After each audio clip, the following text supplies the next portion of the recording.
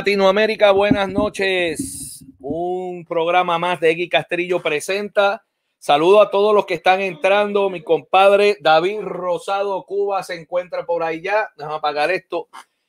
David Rosado, eh, Eduardo Padua, en fin, José Luis, gracias, gracias por estar por aquí.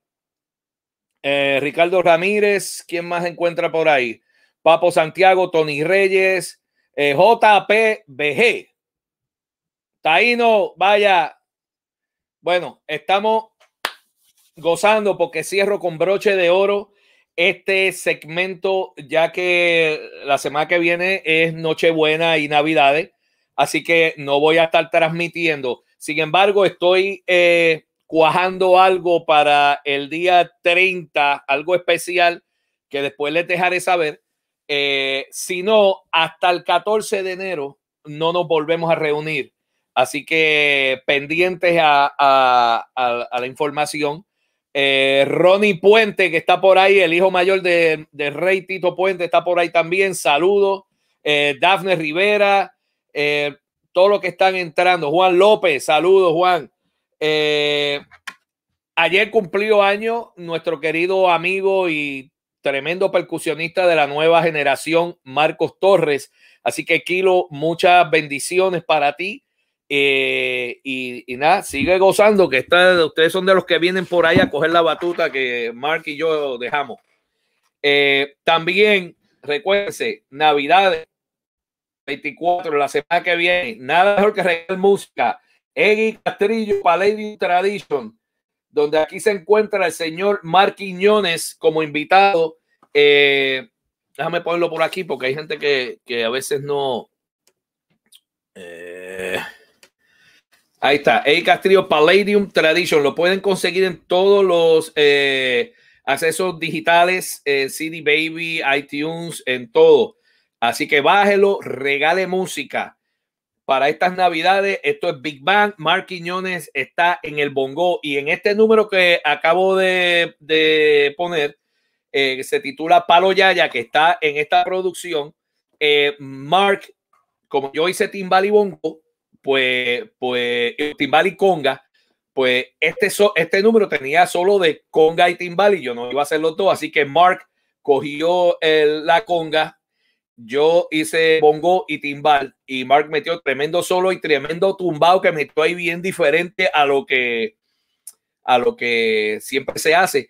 Y de eso vamos a hablar dentro de un ratito con Mark. Así que Palladium Tradition regale música si no lo puede para Navidades, para los Reyes, para despedir de año, para los divorcios, para, para todo. ¿Ok? Así que ahí está. Eh, pues como les estaba diciendo, cerramos con broche de oro hoy porque tengo de invitado a, alguien muy especial, no solamente para todos eh, ustedes, los que están entrando y sintonizando, eh, pero para mí, que lo conozco desde hace muchos, muchos años. Y, es, un gran amigo, una persona que yo admiro, respeto muchísimo. Y, y ha sido una inspiración no solamente para ustedes, para mí también. Así que no quiero esperar mucho porque quiero empezar el programa con el señor Mark Quiñones. Vaya, Mark. Vaya, Egui Castrillo. Tiene tremendo, tremenda. Aquí esto está lleno ya de gente saludando y todo. ¿Cómo tú estás? Estoy lo más bien, tú sabes, aquí en la cuarentena, pero gozando. Mira, estamos, vivos. Ronnie Puente te manda saludos. Eh, Ronnie, Así que, y así lo go ahead. No, no, no, no. Quería mandarle saludos a Brani también. Hace mucho tiempo que no lo veo. La última vez que lo vi fue cuando le hicimos un tributo a, a su papá, a Rey, eh, con Jazz at Lincoln Center, con Winter Marsalis. Ah, sí, pues por ahí está, por ahí está Ronnie. Después vamos saludándolos poco a poco. Recuérdense que eh, vamos a estar contestando dos o tres preguntas, eh, pero es para, para el final del programa. Así que ready con esas preguntas para Mark. Eh, Mark, este disco, eh, Palladium Tradition, que yo tuve la, dicha de tenerte como invitado junto a nuestro, mi hermano y, compadre Oscar Cartaya. Ah, no íbamos a este, hablar de Oscar, brother. No me menciones ese nombre, por favor. Es la única vez que lo voy a mencionar. tenemos tremendo relajo con eso. Este, y, y, Mark y yo hicimos la percusión y, y siempre di gracias a Mark, es, es, un honor muy grande. Este, pero en ese tema, específicamente Palo Yaya, eh, tú hiciste la tumbadora y me recuerdo que me, me, tú me preguntaste, ¿tú quieres lo tradicional o, o, tú me dejas a mí? Yo le dije, chacho, zúmbate. Y, y metiste un tumbado ahí bien diferente a lo que todo el mundo estaba haciendo. Eh, probablemente ya tú no te acuerdas, porque eso fue en el 2005. Eso, eso lleva casi 50 años, ¿verdad? como 50, 50, no, no, no, 47 años por ahí. Ah, sí, sí, casi, casi. Este, pero, pero sigue siendo mi primera producción. seguimos, seguimos igual. Mira, el Dandy está por ahí, John Dandy Rodríguez, saludo. El maestro, el maestro de, de, de los pollitos. Ah, ese es el papá de los pollitos. El papá, sí. Este, Mark, yo quiero, yo quiero contigo eh, hablar de, tu vida, porque muchos de nosotros te conocemos de, toda tu trayectoria. Eh, tú tienes mucha, mucha gente que te sigue, que, te emula. Eh, ha sido inspiración para mucha gente. pero muy pocos conocen de, de tus comienzos, de, esa raíz, de, de esa cuna donde tú, tú naciste en la ciudad de Nueva York de ascendencia puertorriqueña, estoy claro, ¿no? En el Bronx. En el Bronx. claro, soy un, Bronx, soy del Bronx. Bronximian. That's right. ¿Y, tus papás, tus papás de dónde son? En ¿Tus papás vinieron de Puerto Rico o también nacieron? Mi, mi, papá nació en Mayagüez, Puerto Rico. Mi mamá, bueno, mi abuela, de parte de mi mamá, es de Mayagüez también, pero mi mamá nació en, en, el Bronx. En Nueva York también. Sí, pero da la, la casualidad que mis dos padres son de Mayagüez, del pueblo de Mayagüez, pero se conocieron en el Bronx. Oh, mira para allá. Y ven, y ven acá, Mark, y, y en tu casa, cuando tú crecías, ¿qué música se oía? ¿Cómo fue esa, esa niñez de Mark eh, musicalmente?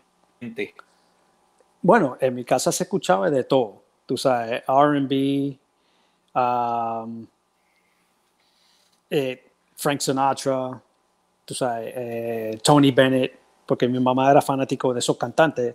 Entonces, mi papá, como era eh, es músico, no era porque todavía está vivo y sigue tocando. Él era la parte latina, tú sabes, la salsa, la vieja salsa, Big Band, you know, Barreto, Puente, Tito Rodríguez, y además la música de Cuba. Mi papá era fanático de la música cubana. ¿Él, él, él tocaba percusión también? O, sí, sí, toca conga y bongo.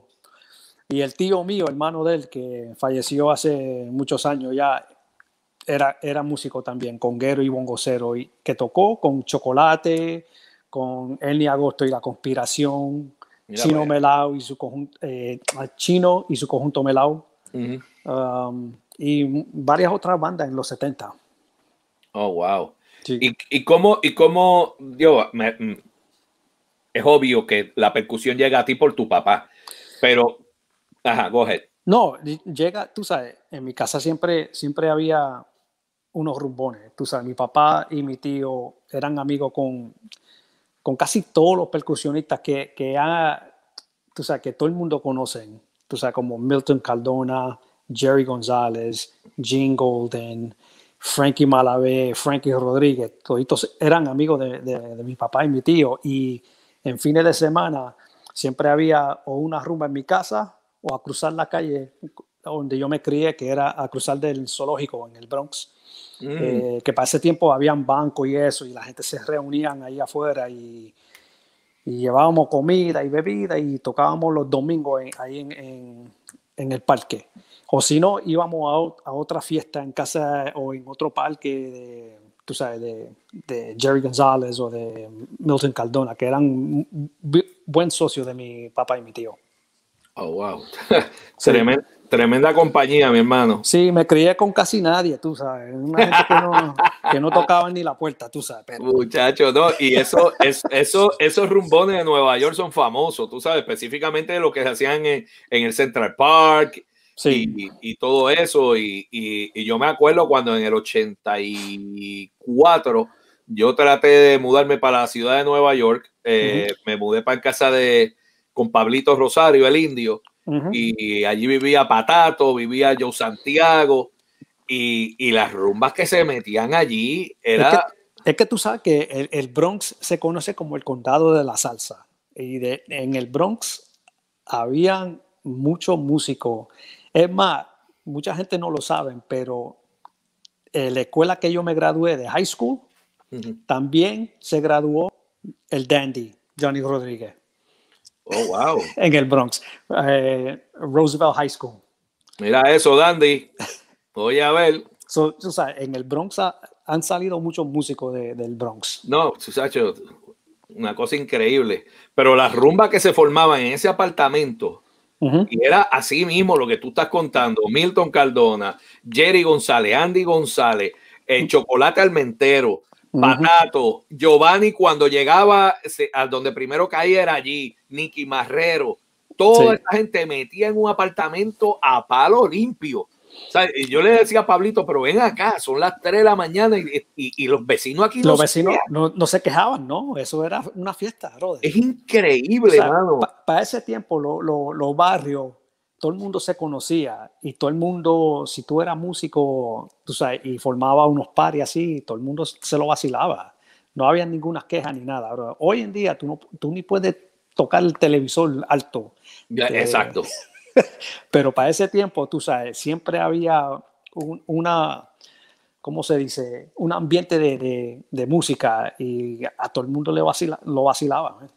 Vean acá, ¿y cuál fue el, el, primer instrumento que tú te identificaste? La conga. El, timbal fue el último, fue la conga, el bongo y el timbal. Mira eso. Empecé, empecé, empecé, a tocar, eh, bueno, me dicen a, los tres años. Me, me, imagino que antes de los tres años estaba rompiendo, tú sabes, la, la olla de mi mamá. Exacto. O, las latas de pintura que habían por ahí que so, sobraban. Y para, y para ese tiempo, bueno, me imagino que, que lo, lo, las influencias tuyas eran las que estaban en tu casa, las que llegaban a tu casa. Tú sabes, los que mencionaste anteriormente. Pero posteriormente, ¿cuál fue eh, ese, ese artista, ese, ese músico que te llamó la atención para emular en, tu primero, en tus primeros años? Bueno, en la conga fue el tío mío. Él, tocaba una conga, tenía un sabor en la, en la tumbadora. Mi papá es tremendo eh, conguero también, mm. pero se dedicaba más a la bomba y, la plena, más folclórico, el, viejo mío. Y el tío mío era más, tú sabes, salsero, puro salsero. Pero escuchando a Barreto ese tiempo, tú sabes, era una influencia mía. Y cuando empecé a tocar el timbal, obviamente Tito Puente, tú sabes, que fue, um, you know, el más, el más que me llamó la, la atención a, esa edad. A esa edad. Este, y entonces, ¿tú estudiaste música? ¿Llegaste a estudiar música de pequeño? Yo no estudié eh, música de percusión. mi papá me llevaba a unas clases de teoría cuando tenía como 6, 7 años. Y tú sabes, a esa edad yo no quería, yo no quería ir a, estudiar, yo quería jugar en la calle con, con, con, mi, con mis amigos, tú sabes. Claro, claro. Y entonces, nunca estudié percusión de nada, el rudimento nada, tú sabes, todo eso me vino así natural, tú sabes. Eh, y desarrollando yo mismo. Um, pero cuando estaba en high school, no sé cómo se dice en español, high school, secundario, no secundario, ¿verdad? Eh, sí, pero se conoce como high school también. Bueno, cuando estaba en high school, ya la silla de la batería y la percusión estaba, no había espacio. So Me dijeron, tiene que escoger un, un instrumento y escogí la trompeta de, todos los instrumentos. Espérate, espérate, espérate, para, aguanta, aguanta, aguanta, aguanta. Mira, e, esto es increíble lo que yo estoy aprendiendo ahora mismo. Tú sabes que ese fue lo que me pasó a mí. ¿En serio? así mismo como tú lo estás contando. Yo cuando entré a la Escuela Libre de Música en Puerto Rico, yo quería estudiar piano y percusión. Y los dos me dijeron, tú estás loco, eso ya está lleno, tienes que coger otro instrumento. Y yo le dije, contra, ¿y cuál? Y me dijo, bueno, tenemos violín, violonchelo. Y decía, oh my God, tú sabes, yo no sabía, tú sabes. Y cuando dijeron trompeta, yo dije, con eso yo puedo tocar salsa, así que ponme ahí. Y empecé en trompeta, pero tengo que decir y aclarar que yo no era el peor trompetista de la escuela. ¿No era el peor? No era el, yo no era el peor. Había uno debajo de mí que se llama Gilberto Santa Rosa. No. Oh, sí. También. Sí. Yo Sí, yo tocaba, yo toqué en banda. Gilberto no lo aceptaron ni en las bandas de séptimo grado y nada, porque era, ¿sabes? Eso era un desastre. Y, y, creo que hay una, hay una sola foto de Gilberto con la trompeta, pero él no la ha querido divulgar. Diablo, yo no sabía eso de Gilberto ni de, de ti. Ya, todo, yo, mira, te digo, te digo, casi todos los que yo he entrevistado que han ido a la escuela de chiquito, es el mismo cuento. Querían percusión y le dijeron, no, tienen que coger otra cosa y cogieron otras cosas. Pero lo que me da gracia es que tú cogiste trompeta como yo. Este, y yo Pero yo, yo, yo toqué por cuatro años.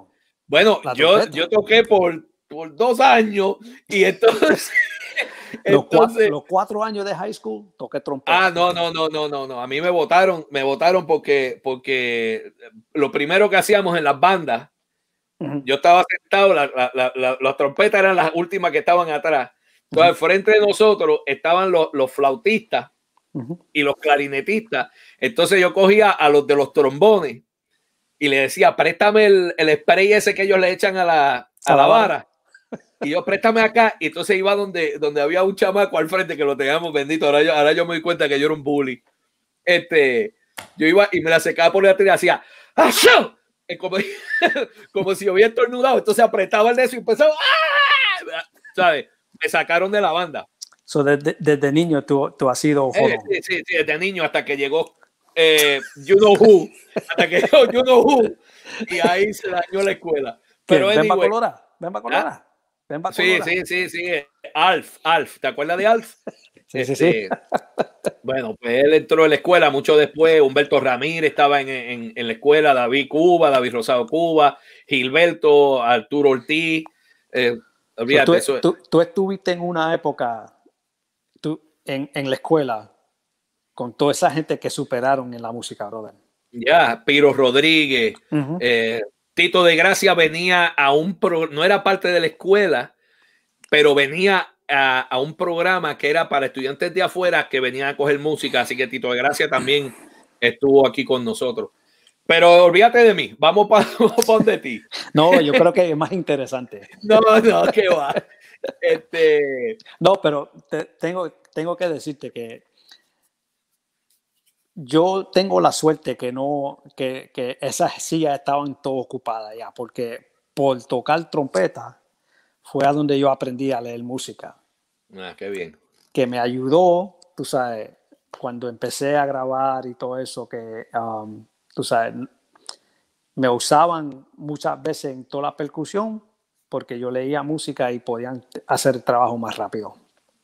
So, tú sabes, gracias a Dios que entonces, esas sillas estaban ocupadas. Sí, sí, Porque si no, uno nunca sabe cómo, cómo hubiera ido la, la, carrera, ¿no? Eh, exacto, exacto. No, no, hay mal que por bien no venga. este, y entonces, Mark, ya empezaste. Otra cosa que mucha gente aquí no conoce y que a mí me cuesta trabajo creer es que Mark Quiñones no practica nada. Soy un vago. ¿Sabes? No es porque seas vago. no, soy un vago, soy un vago, No tengo ah, la disciplina. Eh, pero, eh, eh, eso es la verdad. Pero, pero es increíble que una persona que no practique, y eso también le pasaba a Body Rich, ¿sabes? No calentaban, no practicaban rudimentos, nada. Todo eso es natural. ¿Cómo, cómo es eso, Mark? Explícame eso. Tú lo dijiste, natural. Yo no sé, brother, porque la, la, la verdad es que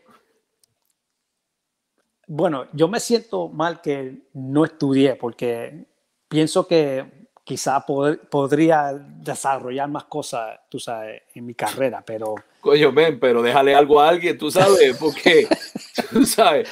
Pero a la misma vez, tú sabes, yo toco por instinto. Cuando, cuando grabo, cuando estoy, estoy tocando en vivo, es instinto. Tú sabes que a veces los estudiantes, cuando están estudiando, quieren, quieren meter lo que estudiaron la semana anterior, tú sabes, y, y a veces no es la situación adecuada para desarrollar eso, ¿no? Pero uno no sabe, tú sabes, tú tienes que usar tus instintos cuando estás tocando. Brother, tú sabes, porque el, el, el dominio que tú tienes sobre el instrumento es una cosa sorprendente, tú sabes, la claridad, la limpieza, la perfección que tú tienes eh, con cualquiera de los instrumentos, ¿sabes? De la conga, bongo y timbal, que todo aquel que es percusionista aquí de lo que está viendo el programa y los que lo van a ver, saben que son tres lenguajes completamente diferentes y tres técnicas diferentes. Eh, y tú, de la nada, ¿sabes? ¿Sabe? Es una cosa que, coño, la, sabes? La, disciplina que yo tengo, bueno, de no practicar, ¿verdad? Pero si me voy a, si me voy a enfocar en un instrumento, yo me enfoco en ese instrumento, tú sabes, no, no es que yo vaya y diga, tú sabes, porque habían veces que, que, me preguntaban para grabación o para hacer un guiso si yo tocaba instrumento brasilero o algo así. Yo no me dedico a eso. Y yo no me voy a poner, decir que sí y hacerme el ridículo, tú sabes. So, yo me enfoco en lo, que, en lo que yo sé que puedo tocar y entonces me desarrollo en esas cosas. Pero, pero, pero cuando porque Mark, tú sabes, yo estoy tratando de ser lógico con, con, con, con lo que somos, con lo que somos seres humanos. Este, eh, tú sabes, una cosa es uno ver eh, a Puente, tú sabes, porque eso, eso me pasaba a mí y, a, y a David y a todos nosotros cuando estábamos empezando, teníamos que ir a ver a, a, a los, a, los, a los bravos para ver cómo cogían los palos, cómo se sentaban, cómo sacaban, ¿sabes? claro, nosotros teníamos la suerte de tener al papá de Giovanni, a Mañengue, que, que eh, por lo menos para mí era lo más cerca que yo tenía. Eh, pero como quiera, había que esperar que viniera Mongo, que viniera Barreto con los congueros en Puerto Rico para ver cómo movían las manos. Entonces, tratar de emular ese, ese sonido, cómo saca ese seco, papá. Tú sabes, eh, tú tuviste que por lo menos haber hecho eso. De que yo me. I don't remember. No me acuerdo nada. Esto, señores, esto es igual que ir a ver a Giovanni, tú sabes. Uno se... No, pero Giovanni, Giovanni practicaba. practica.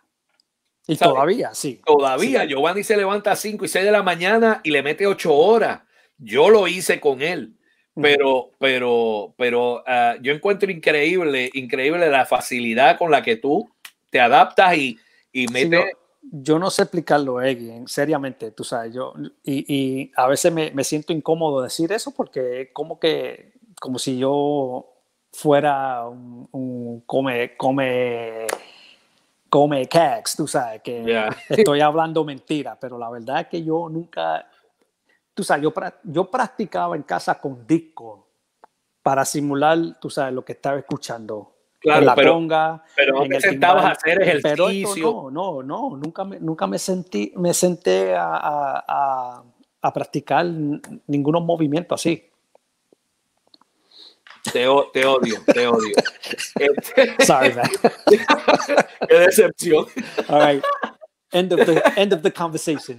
Bye.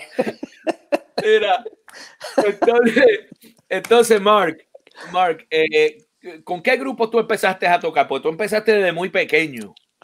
Bueno, yo...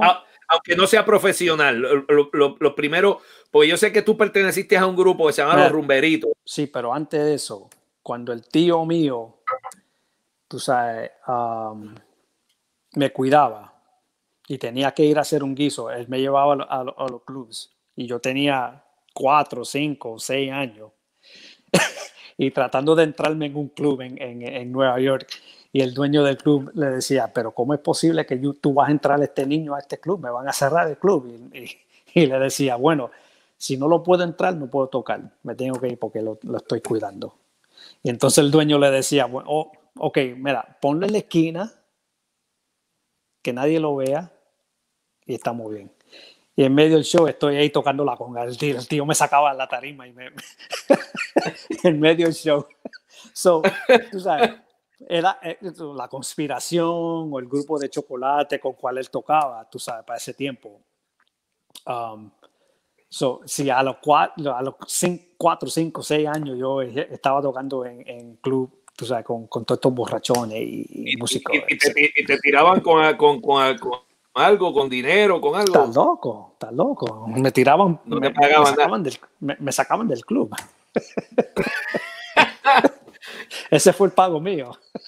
Mira, entonces vienen los rumberitos después de eso, ¿no? No, bueno, de los antes, rumberitos. antes de los rumberitos vino lo de lo de la ópera Omi con Larry Harlow. Ok, ¿cómo, cómo eso pasó? ¿Qué pasó ahí? El, el amigo de mi papá se llama Genaro Álvarez. Él era el autor de, de muchas. Geni, Álvarez. Geni Álvarez, sí. Okay. Él, él, él, y el papá mío tocaban en un grupo folclórico. Y cuando em, estaban grabando el disco, que se, iba, que se iba a hacer la presentación en Carnegie Hall, Henny llamó al, a mi papá y le dijo, mira, vamos a hacer esta obra en Carnegie Hall y necesitamos el, un muchachito que toque, que, que, haga la parte de Omi cuando era, cuando era niño. Porque la, eh, la obra era, se trataba de música, con canción, y con, ¿cómo se dice narration en español? Eh, narratoria, narración, sí, con, sí. Henny, era el, el, el, el, narrator de, la obra. So le dice a mi papá, mira, están grabando el disco, llévalo al estudio para ver si, si él puede grabar la parte. Pero ya habían, mi papá me llevó, que creo que fue en... Ah, no me acuerdo cuál fue el estudio, pero me llevó al estudio, estaba Larry Hollow y ya habían grabado la parte, pero Larry le dijo a mi papá, mira, tráemelo al ensayo, y no para el show. Y ahí fue que, tú sabes, a los nueve años toqué en Carnegie Hall, en la obra de Omi, que se hizo. Wow. Y de ahí. Y, y, estás en el disco. No, yo no grabé. Yo no grabé en ese Ah, tú no grabaste. No, no, no, ah, no. Ya habían grabado la parte, eso no, me, no, ah. no, tuve la oportunidad de grabar el disco, pero sí toqué en, en, el show en Carnegie Hall. Que tú sabes, estaba cantando ahí Celia Cruz, eh, Junior González, Adalberto Santiago, um, Justo Betancourt. Um, Junior González. Sí, mucho cantante que o sea, famoso para ese tiempo. Y entonces pasan un par de meses y Jenny llama a eh, mi papá de nuevo y le dice, mira, Tito Puente está tocando en el Roberto Clemente State Park, en el Bronx, y van a ver otros muchachos que se van a presentar con él, trae a Mark. Y mi papá, vamos al, parque, y ahí fue a donde eh, conocí a Bobby Allende y su hermano Tito, Tito Allende. Y a Juicy. Juicy estaba ahí también.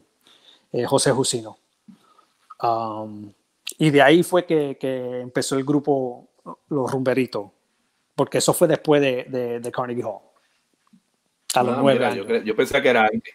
No, era después. Y entonces empezamos a tocar, tú sabes, después que hicimos ese show ahí, esa presentación con, con, con Tito, él, como que se enamoró de nosotros y dijo, bueno, yo lo, yo lo voy a presentar en un par de lugares con, con, el grupo mío. ¿Tú te acuerdas más o menos qué año fue eso? Eso fue en el 73, 74, antes de, de, de la gente que están sintonizados nacer. ¿Cuándo, ¿Cuándo tú naciste? ¿Qué año tú naciste? No me pregunté eso, ahí. Eh, tú, me, tú, me, tú me preguntaste si habían preguntas que no me podía hacer, no me ah, Y me dijiste que no. así que. así que. No, mira, yo, yo nací en el 63. Ah, igual que yo. De diciembre. So, a mí, el cumpleaños mío, ¿qué, qué, qué fecha es hoy? 17. Hoy 17. En, en, 12 días cumplo, cumplo años. Bueno, pues happy birthday. Happy birthday. Gracias. Me fuiste adelante. Ah, no, actually no. Yo soy más viejo que tú. ¿Viste? Yo nací en julio y Giovanni nació en noviembre y tú en diciembre del 63. 63 también. Giovanni nació. Ustedes Giovanni, se ven más viejo que yo. Ustedes se sí, ven no, más se ve, no, tú, te ves, tú te ves bastante chavadito también. Este, este, para pa que la gente eh, no, no se les olvide, Giovanni nació el mismo día que mataron a Kennedy.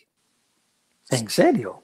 Ese mismo día mataron a Kennedy y Giovanni salió. Quizás fue, fue el nacimiento de, de Giovanni. Que mató y, se quedó, y se quedó con la misma voz. Mira, eh, aquí el Dandy dice, it's because Mark, hablando de, de, que, de, de, la habilidad que tú tienes, dice, Mark was born with a gift. It was, it was meant to be, and he's a clean cut guy, and he made it happen. He's very talented. Pero eso era you, antes, John, ya, ya no. Pero. No, I'm, st I'm still a clean anyway. cut guy. Look at this. Clean cut, bro. Sí, mira la cabeza completa, mira la cabeza completa. Mira, mírate, mírate un poquito para que veas lo que tiene guindando allá atrás. Ve, adiante, mira. Ahí está, ahí está el tipo, el tipo está ahí. Este, este eh, ahí hay una persona que la estoy ignorando, así que seguiremos informando. Tú sabes de quién es, tú sabes quién es. Compadre, ¿Tipa, estamos, o, ¿Tipa o tipo? Te estamos ignorando, compadre. ¿Tipa este, o tipo? Eh, es tipo, y tú sabes. Eh, pero te queremos, te queremos. Angelina, saludos desde Perú. Se gracias, me olvidó gracias, mencionar.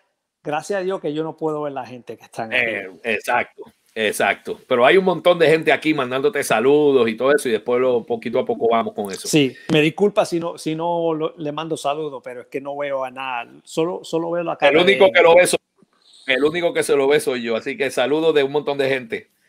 Este, Mark, ok, entonces empiezan los rumberitos, haces una, una serie de presentaciones con Tito Puente. Sí, por y como, tres, después- tres o cuatro, por como tres o cuatro años él nos llevó a varios lugares a tocar y, y, tú sabes, era, era una, un- una época muy, mucho, mucho aprendizaje en, en esa época.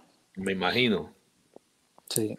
Y después de ahí, ¿qué pasó? ¿Qué, qué, qué, fue lo próximo que pasó importante?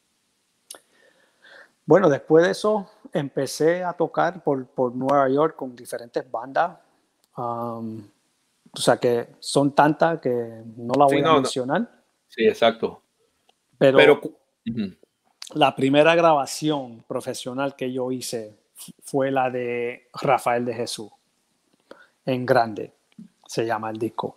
Mm, Y ahí en esa grabación, que ya yo había tocado en vivo con, con mucha, mucha de la gente que estaban en, en la grabación, pero tú sabes, a estar en el estudio con ellos, especialmente Papo Pepín, que fue una influencia mía, tú sabes, eh, porque el tipo, la, la creatividad de él para ese tiempo, tú sabes, estaba de otro nivel. Y todavía, tú sabes, tipo, el tú- si, si tú escuchas las grabaciones de él, él no tocaba como ningún conguero conocido para ese tiempo. ¿Cómo es eso? Explícame. Tú sabes que él, él tocaba las tres congas y, y todos los fills que él, que él hacía no eran tradicional, sino eran más hablando con el tambor, tú sabes, sobre la canción. Que a mí, tú sabes, eso, eso, eso me, eso me, me, me choca muy bien, tú sabes, y, y me, me inspiró de no, de no ser tan tradicional en la conga. Pero cuando se tiene que tocar tradicional, poder hacerlo también, porque el Papo tenía esa habilidad también, pero Exacto. tú sabes, él, él siempre estaba, tú sabes, la tonalidad y, y- y las ideas que él, que él, que él tocaba, eh, tú sabes, me, me impresionaron muchísimo. Uno de mis favoritos. Ven acá, eh, mío también, mío también, y yo sé que de David, que está por aquí también, eh. David, David, eh, ese es uno de sus mentores Ujú. eh, directos. Eso, esos años que, que, que, me dijiste que eran, fueron cuatro años que estuviste, tuvieron ustedes haciendo cosas con, con Tito Puente. A mí, eh, tú estás con, con, con el, el, el, músico, digo yo, ¿verdad? En mi opinión, el músico más importante que, que dio Latinoamérica en, en, en, el siglo pasado. Este, ¿Qué anécdotas, qué, qué aprendiste de, de, de, de, esa experiencia, estar al lado de ese señor y de los que estaban en ese grupo? Porque, porque Tito no tenía eh, cualquier pelagato por ahí, ¿sabes? Tito tenía unos músicos increíbles. Para mí lo, eh, más, lo, lo, más, importante, Eggy, tú sabes, como, como músico y como persona, era como, como él actuaba en el escenario y con su músico. Tú sabes que siempre tenía una sonrisa, aunque tuviera problemas. En los yeah. problemas nunca se lo, se, lo, se lo presentaba a la gente. Uh -huh. Tú sabes, y eso para mí es bien importante porque tú sabes, como músico, como persona, to, todo el mundo tiene sus problemas, tiene sus cosas, pero si te vas a dedicar a la música, la música es para, para alegrar a la gente. Yeah. So, tú sabes, tú tienes que, que presentarte de esa manera. Y entonces, sea lo que sea después, son, es otra cosa. Pero tú sabes, él siempre con una sonrisa, siempre, nunca le daba la espalda a la gente, tú sabes, siempre saludaba a la gente si lo saludaban a él, tú sabes, y tú, tú lo sabes, tú tocaste con él, con, con, con Steve Winwood. Uh -huh. Tú sabes que, que, el tipo era bien amable, buena gente. ¿Y, y te, te, te, acuerdas quiénes eran los, los, los, los, otros percusionistas que estaban con él para ese sí, tiempo? Estaba Dandy en el bongo, José Madera, mm. eh, en la conga y, y Paquito Pastor en el bajo, también en el piano. Um, no me acuerdo quién estaba en el, en el, oh, estaba, no, estaba Bobby Rodríguez en el bajo. El Bobby. Sí. Bandón increíble. Sí, sí, sí. Espectacular. Y, y, y lo, lo, lo, interesante del caso, Mark, es, es eh, para que muchos de los que están viendo y oyendo este programa, esta entrevista, eh, que muchos están comenzando en, en, este ambiente de la música y, y, y, quieren llegar a hacer lo que, lo que tú has hecho, que yo siempre he dicho que, que, que eso está disponible, este tipo de experiencias están disponibles para todo el mundo, solamente tienes que ponerte para tu número. Tú fuiste una persona igual que Bobby Allende, que nunca, que yo sepa, jamás se metieron ningún tipo de droga. Uh -uh. Tú sabes, ni, ni, ni, ni alcohol y, y, si se tomaba una cervecita a lo mejor, pero, pero yo sé y estoy bien seguro que ni cigarrillo, ni droga, nada, nada. nada. Ustedes fueron bien limpios, bien claros con lo que ustedes querían. Sí, pero aunque, aunque tú lo hagas como persona, tú sabes, como te dije, eso no debería eh, afectar tú sabes, el performance tuyo. Ya. Yeah. Porque, tú sabes, en esa época habían gente que estaban voladas. Yeah. Pero eh, eh, empezando con Héctor Lavoe. Pero yeah. él, él, cuando se trepaba en tarima, se quedaba con el público. Exacto. Daban el 100%. Pero a lo que quería ir es que muchos años después, esa persona, estoy hablando de Tito Puente, que, que te inspiró a ti, me inspiró a mí uh -huh. eh, y a David y a, y a, millones de gente alrededor del mundo, te llama para que tú grabes en su disco Timbale. Uh -huh. En el número 100. ¿Me puedes contar de esa, de esa anécdota? Bueno, eso, e, ese momento en mi carrera, para mí, aunque han pasado otras cosas espectacular, todavía sigue siendo tú sabes, como percusionista y como, tú sabes, fanático de Tito Puente, que él le diga, porque Sergio George era el productor de ese disco, número 100, y le dijo a, a Sergio que um, él no quería tocar timbal, que me llamara a mí. Imagínate tú. Y entonces, tú sabes, tengo un cuento Tú sabes. Que yo, que yo lo sé, yo quiero que lo haga. Yo lo sé, pero yo que quiero que tú lo hagas. Estamos, estamos repasando un, uno de los temas antes de grabarlo. Y él me dice, y, él, le dice a Sergio, espera, espera, espera, espera. Y, entra en la cabina donde estoy grabando y me dice, oye, Mark, ¿cuál es el patrón que tú estás tocando?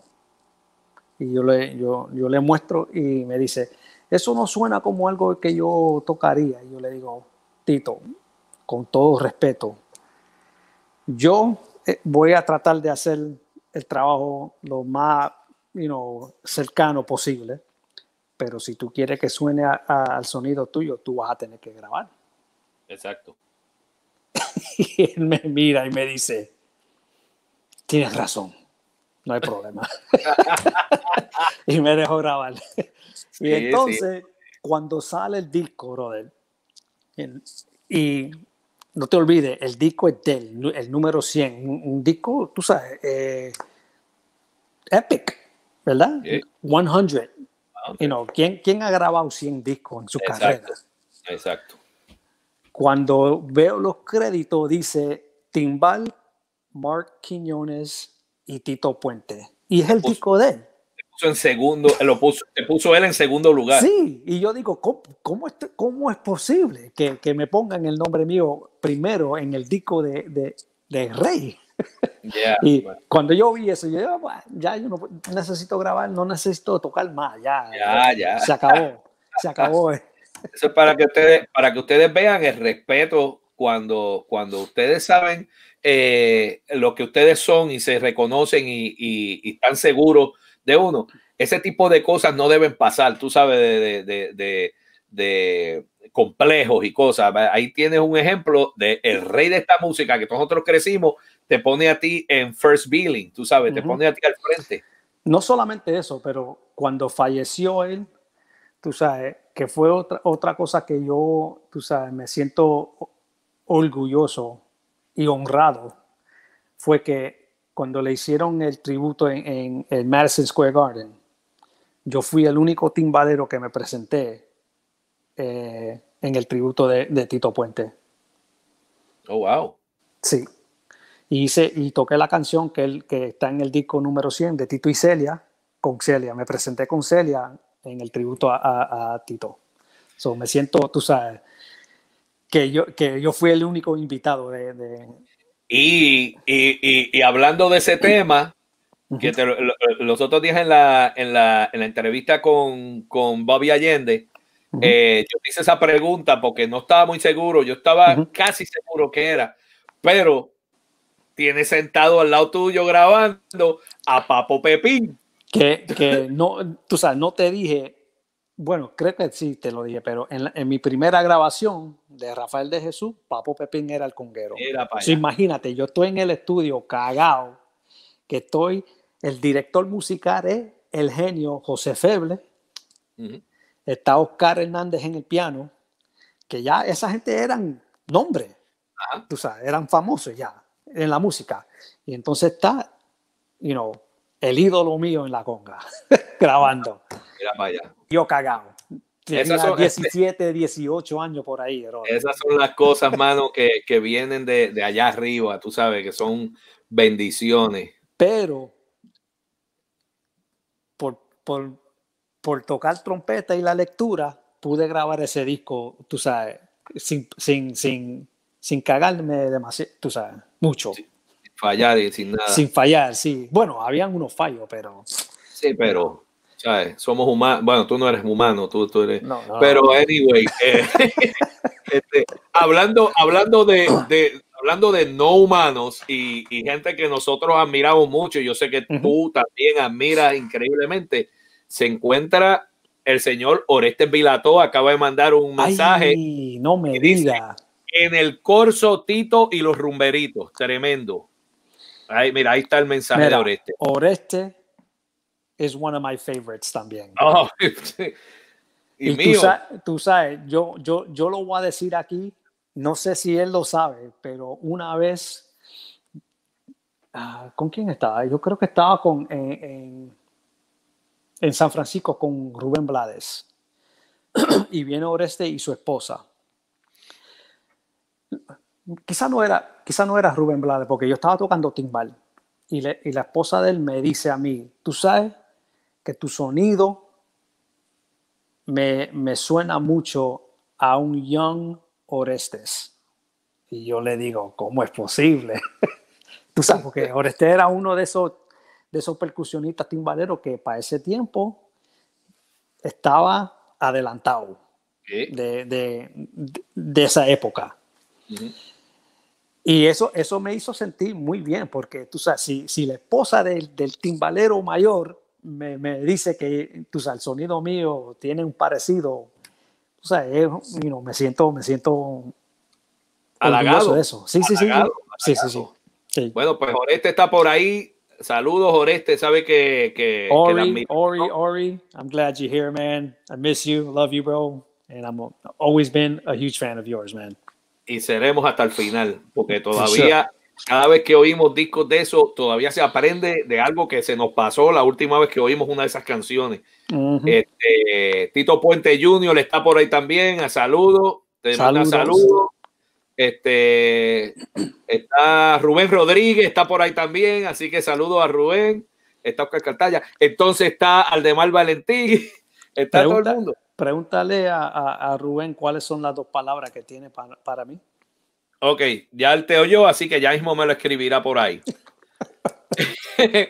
eh, vaya, Frankie, Frankie Suárez. Este. Diablo, Frankie Suárez, el tecladista. Sí, sí, está por ahí también. Mira, acaba de entrar. Mierda. Ya, aquí entra todo el mundo, papá. Diablo, yo, yo, yo, la, la, última vez que yo vi a Frankie Suárez, bro, fue en la grabación de Glenn Monroy, a donde me fui. Ni grabé el disco. ¿Quieres contar? Pero no no, no vamos a hablar de eso. No. Pues yo me sé ese cuento también. Eso fue la, esa fue la última vez que yo vi a Frankie. Frankie ah, estaba en el, en el, piano en esa grabación. Pues mira, te manda, te manda, te manda corazones. Yo creo que eso es lo más que te puede mandar. Orlando Poleo desde Francia, saludo también, Orlando. Mm. Davidito Antonio también. Eh, Mark, en el 1986. Diablo. Yo escapándome de las navidades, después de terminar las navidades en Puerto Rico, donde yo tocaba con casi todos los días tres y cuatro veces, eh, ya yo estaba quemado, ya para después de pedir año, después de Reyes, yo me, me iba a, a, la Ciudad de México a descansar. Este, terminaba tocando por allá también, pero... Y uno de los días que, que estaba allá en México, eso fue el año, el, año siguiente del terremoto grande que hubo en México. Yo estoy durmiendo por la mañana y me despiertan eh, las amigas donde yo me estaba quedando y me dice, mira, Oscar está en televisión. Y yo, ¿qué Oscar tú estás hablando? Oscar Cartaya está en televisión porque la, muchacha también había estudiado en la, escuela de música con nosotros. Y yo, no me digas, cuando me levanto era Willy Colón. Ustedes estaban tocando, estabas tú, estaba Bobby, estaba Arturo Ortiz en el piano. ¿Y, quién estaba en la conga? ¿En el bongo? Eh, probablemente. No, era, ¿No era yo, Bobby Sammy García? Probablemente era Sammy. Yo no conocía a Sammy, pero yo sabía quién eras tú y quién era Bobby Allende y yo nunca los había conocido en persona. Entonces nosotros fuimos al show esa noche en, en, algún sitio allá en, en, el eh, desastre federal en México y, vimos el show, que pasó una cosa que no la voy a contar, pero en tarima con Billy Colón. Y cuando ustedes terminan, ya se estaban montando en la guagua y yo le dije a Oscar, yo quiero conocer a Mark y a Bobby. Entonces, eh, Oscar entra a la guagua y le dice, Mark, Bobby, salgan para presentarle a un amigo. Y, y, ustedes salieron y aquí yo tengo la foto de ese oh, momento. Yeah, brother. Aquí yo tengo la foto con Arturo Ortiz. ¿Dónde? Ahí está. Diablo. Se ve la guagua detrás. Y, Bobby tú y, y Arturo Ortiz eh, vestido de blanco. Eso fue en 1986. Ese fue el día que yo los conocí a ustedes personalmente. Mira, mira esa moda, brother, que yo tenía el fag bag puesto. que, que, están de moda de nuevo. Eh, sí, todo eso vuelve. Todo eso I, vuelve. Was ahead, I was ahead of my time.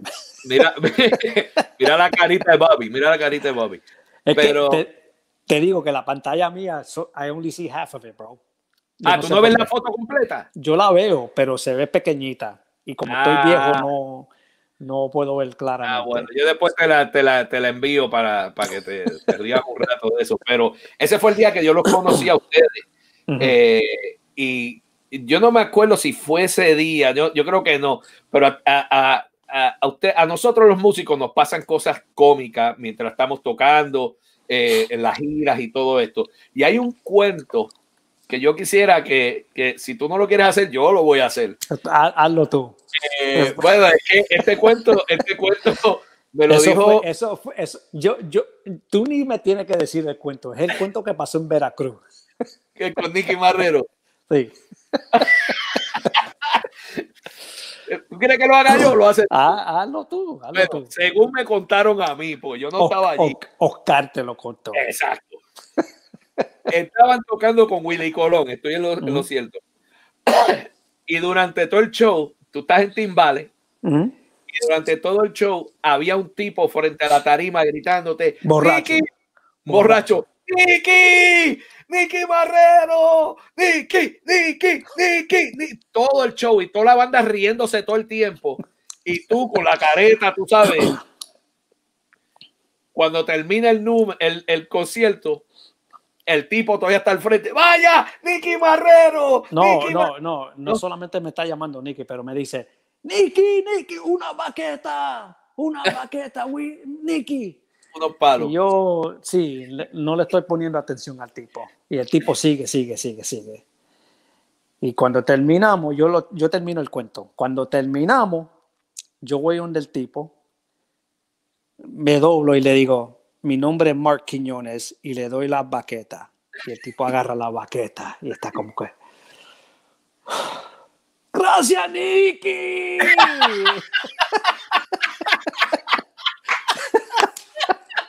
que tú sabes que el tipo está volado porque le acabo de decir que no me llamo Nicky y todavía tú sabes empeñado que yo era Nicky Marrero. Ay, brother, estos son los cuentos míos favoritos, men. Y favorito de, de Oscar también. Sí, yo sé, yo sé. ¿Tú sabes Oye. qué? Pero, pero yo creo que, no, en esa banda, yo creo que yo estaba doblando en bongo y timbal y estaba moviendo la conga, que no, que no había bongo cero. Mm. Yo no me acuerdo en realidad. Eso fue hace tanto tiempo. Yo no me acuerdo Yo, si. yo tampoco, eh, honestamente, pero me, me, me acuerdo del, del cuento. Ven acá, ya que, ya que estamos hablando de, de Ave María, Montserrat, Rivas, te quiero. También está por ahí Neto García de México. A los de México aquí ahora, los quiero mucho, de verdad. Mencionamos México y se montaron. Sí, sí, sí. En la guagua, en la guagua de Willy Colón. Mira, este, ya que estamos hablando de Bobby Allende, porque, ¿sabes? Mencionar a Bobby Allende y no mencionar a Mark Quiñones es como, como, eso es como bomba y plena, que van Es juntos. como decir Batman and no Robin. Eh, Exacto, o, o arro- arroz con habichuela, siempre van juntos, tú sabes, o el pincho sin el palito, ¿sabes? Hay que, hay, hay que nombrar. El pincho sin el palito. wow. Ah, viste. Mira, este. Mira, Oscar está diciendo, yo estuve ahí, yo estuve.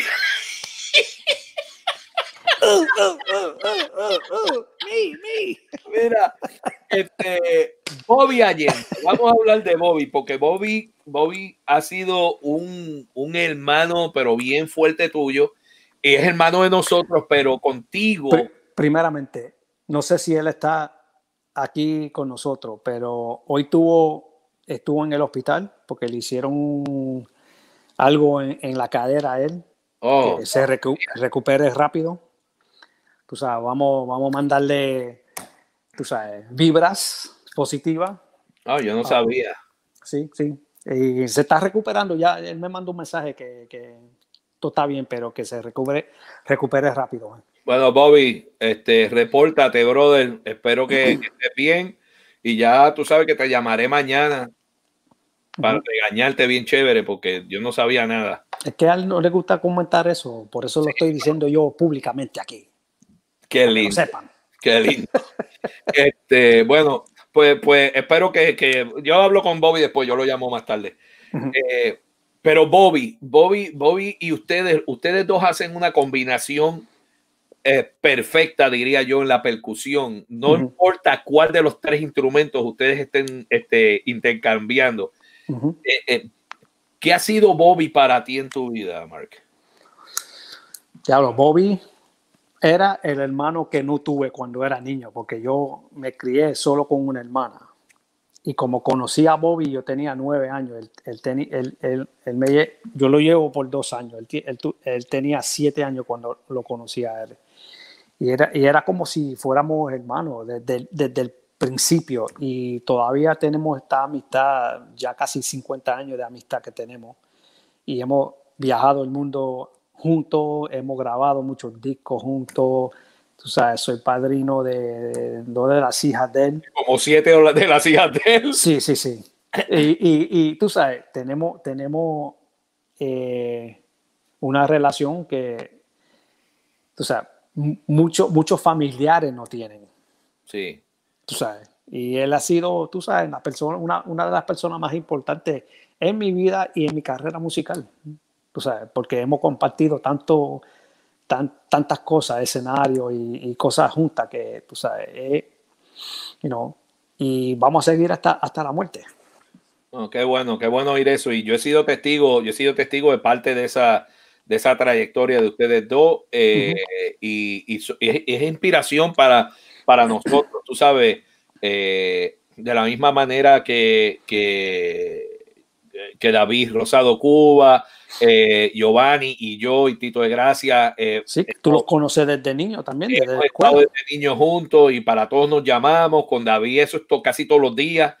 Eh, es, bien lindo ver ese tipo de relación, no solamente en la tarima, pero fuera de la tarima también. Así que, este, sí, un aplauso muy grande para ustedes. Y aquí está todo el mundo poniéndote mensajes para Bobby también. Así que espero que Bobby Gracias, yo se lo digo, yo se lo comparto. Eh, no, yo lo voy a llamar ahorita. Fíjate que la cadera se la voy a arreglar yo. Este. es que tú sabes, con todos esos bailes que él tira, tú sabes, sí, no, no, El, trompo, le, dicen, el trompo. se, le, se, le, jodió la cadera, brother. Ay, bendito, mano. Ve acá, Mark, seguimos contigo. Eh, tú, eres una, tú eres uno de esos, de esos percusionistas que, que que tú sabes que ha, ha cambiado de género de música como, gusto y gana te ha dado. Porque, eh, tú no solamente has tocado con los mejores artistas de salsa eh, de, del siglo pasado y de este siglo, este, pero, pero tú, has, tocado con Spyro Jaira, eh, que es otro tipo de música y que metiste tremendo sobre timbal en el, en el número para ti latino de Oscar Cartaya. Sí, sí, sí pero, pero, antes que, que, Oscar suba la mano otra vez. yo estuve ahí, yo estuve ahí. Sí, no, yo lo entré, yo lo entré a Sparrow no, fue, fue por Oscar que yo entré a Sparrow Jar. Él me llamó para una grabación de Sparrow, que era la grabación de Para ti Latino. Y y no tenían percusionista para ese tiempo. Y, cuando terminé la sesión, me preguntó Jay Beckenstein, que era el, el, el, líder de, de Spire me, dio, me preguntó si yo quería viajar con ellos ese año eh, de respaldo del disco. Y tuve un año con ellos y fue por, por Oscar que me llamó. Y, después que me salí de ese grupo, grabé como cuatro o cinco discos más, aunque no nunca tuvieron percusionista después que yo me salí. Exacto. Ah, pero, yo pero, yo grabé en los discos. Que para mí no tiene sentido, tú sabes, para un grupo así que, tú sabes, que la percusión forma parte del sonido. Tú sabes para grabar y entonces no tener percusionista no tiene ningún sentido. Tú sabes, tú sabes que una vez yo estaba tocando con el Caribbean Jazz Project de, Samuels y, y alternamos con Spyro y, y, yo vine y le di mi tarjeta al tipo, tú sabes, sabe, mira, que el tipo me dio, cogió la tarjeta así, con la, con la, la alegría y la, y la sencillez que lo caracteriza. Eh, cogió la tarjeta y me dijo, yo tengo a Marquiñones, ¿por qué tú crees que yo te voy a llamar a ti? Nada, no dijo eso. Ah, te lo juro, te lo juro por mis hijos. Así no, te digo. no te creo, bro. Bueno, all right. Este, Así mismo me dijo el tipo. Pero yo no, yo no estaba en la, en la banda. No, no, no, no, muchos años después ya tú te habías ido. Este, Sí, no, no, no. Qué insulto, brother. Pero oye, pero todavía tengo lo, de Bobby en la cabeza. Yo, yo te voy a decir una cosa. A mí me encantaría tener a Bobby de frente ahora mismo para decirle un par de cosas. ¡Adiós! Bobby, tú Un milagro. Un milagro apareció Bobby Allende. Eso dice. ¿Tú, me, ¿Tú me oyes? Oye, él, él, es como, ah, él es como Beetlejuice, mencionamos el nombre tres veces, ¿verdad? Y se apareció. Mira eso, yo, estaba, mira, estoy llorando y todo porque estaba esperando la tercera vez que lo mencionara. Y lo mencionaron y me emocioné. Bobby, Bobby, Bobby, Bobby, se apareció. Estoy aquí, estoy aquí. Mira que me, desperté, me, desperté del sueño y todo, del nap, pa, porque lo oí en el sueño, a la distancia pero lo digo porque la, el medicamento todavía lo tengo y me tiene, me tiene un poquito mareado todavía. Oye, Bobby, tú, tú, estás, tú estás muy viejo para estar twerking, bro. Hay que hacer lo que hay que complacer a la mujer, porque si no le hago el twerk, me bota para el carajo. Mira, este, estamos en vivo eh, y, y, y, se está retransmitiendo en Perú, así que eh, eh las intimidades... Cuidado con el, cuidado con el lenguaje. Exacto, las ah. intimidades de ustedes dos eh, pero yo, no voy a decir mierda como dijo Mark, ni cagar, ni de esas palabras que yo usó Mark. Yo no lo voy a usar. Esto, esto yo creo que fue una mala idea. Eh, este, no te apures que se pone peor, dale. Sí, yo sé, yo sé que se va a poner peor. como te dije, como te dije antes que yo vi que, que no usamos drogas, ni fumamos, ni tomamos nada, nada pero sí nos acostamos juntos muchas veces. Dormimos en una cama. Una Para que lo sepa. Y en México. Todo pasa en México. Ah, sí, en México también. con, una, con una cama que tenía una corona por encima. y un espejo. Oh my God. It was the Burger King bed. Esto se jodió, Eggy. señores, perdón. Pero Bobby no va a estar mucho tiempo. Así. Gracias a Dios. Sí, porque el, medicamento, ya, ya en, en, como cinco minutos, él va a estar así, así. Sí, sí, sí. sí. que no se mete ni Tilenol. Y ahora, Bobby. Dímelo. ¿Cómo estás? Me alegro que, que, que hayas aparecido. Eh, estábamos hablando de ti, como tú sabes, porque yo te vi que tú pusiste algo, para que estaba callado. este, ¿Cómo te sientes? Yo no sabía que te iban a operar. Sí, no, es, no, es un, outpatient cirugía que, que me hicieron, esta es la segunda vez, para la cadera, se dice, my side, la, el lado derecho. si me hubiesen dicho que ya a los 50 iba a empezar a romper cosas, yo me quedo a los 40, pero desafortunadamente son cosas que pasan y digo, los años, yo creo que tú sabes, los años, nosotros caminando y cosas y, y jugando los deportes y todo eso, y no somos jóvenes ya. Mira, tú, sabes la canción La Pelota. Mamá no quiere que yo juegue la pelota. Está muy viejo para eso. Bueno, yo, yo, creo. Bobby, yo creo que esta es la oportunidad que Oscar Cartaya estaba esperando. Para, ganar un juego. Para, para ganarte algo.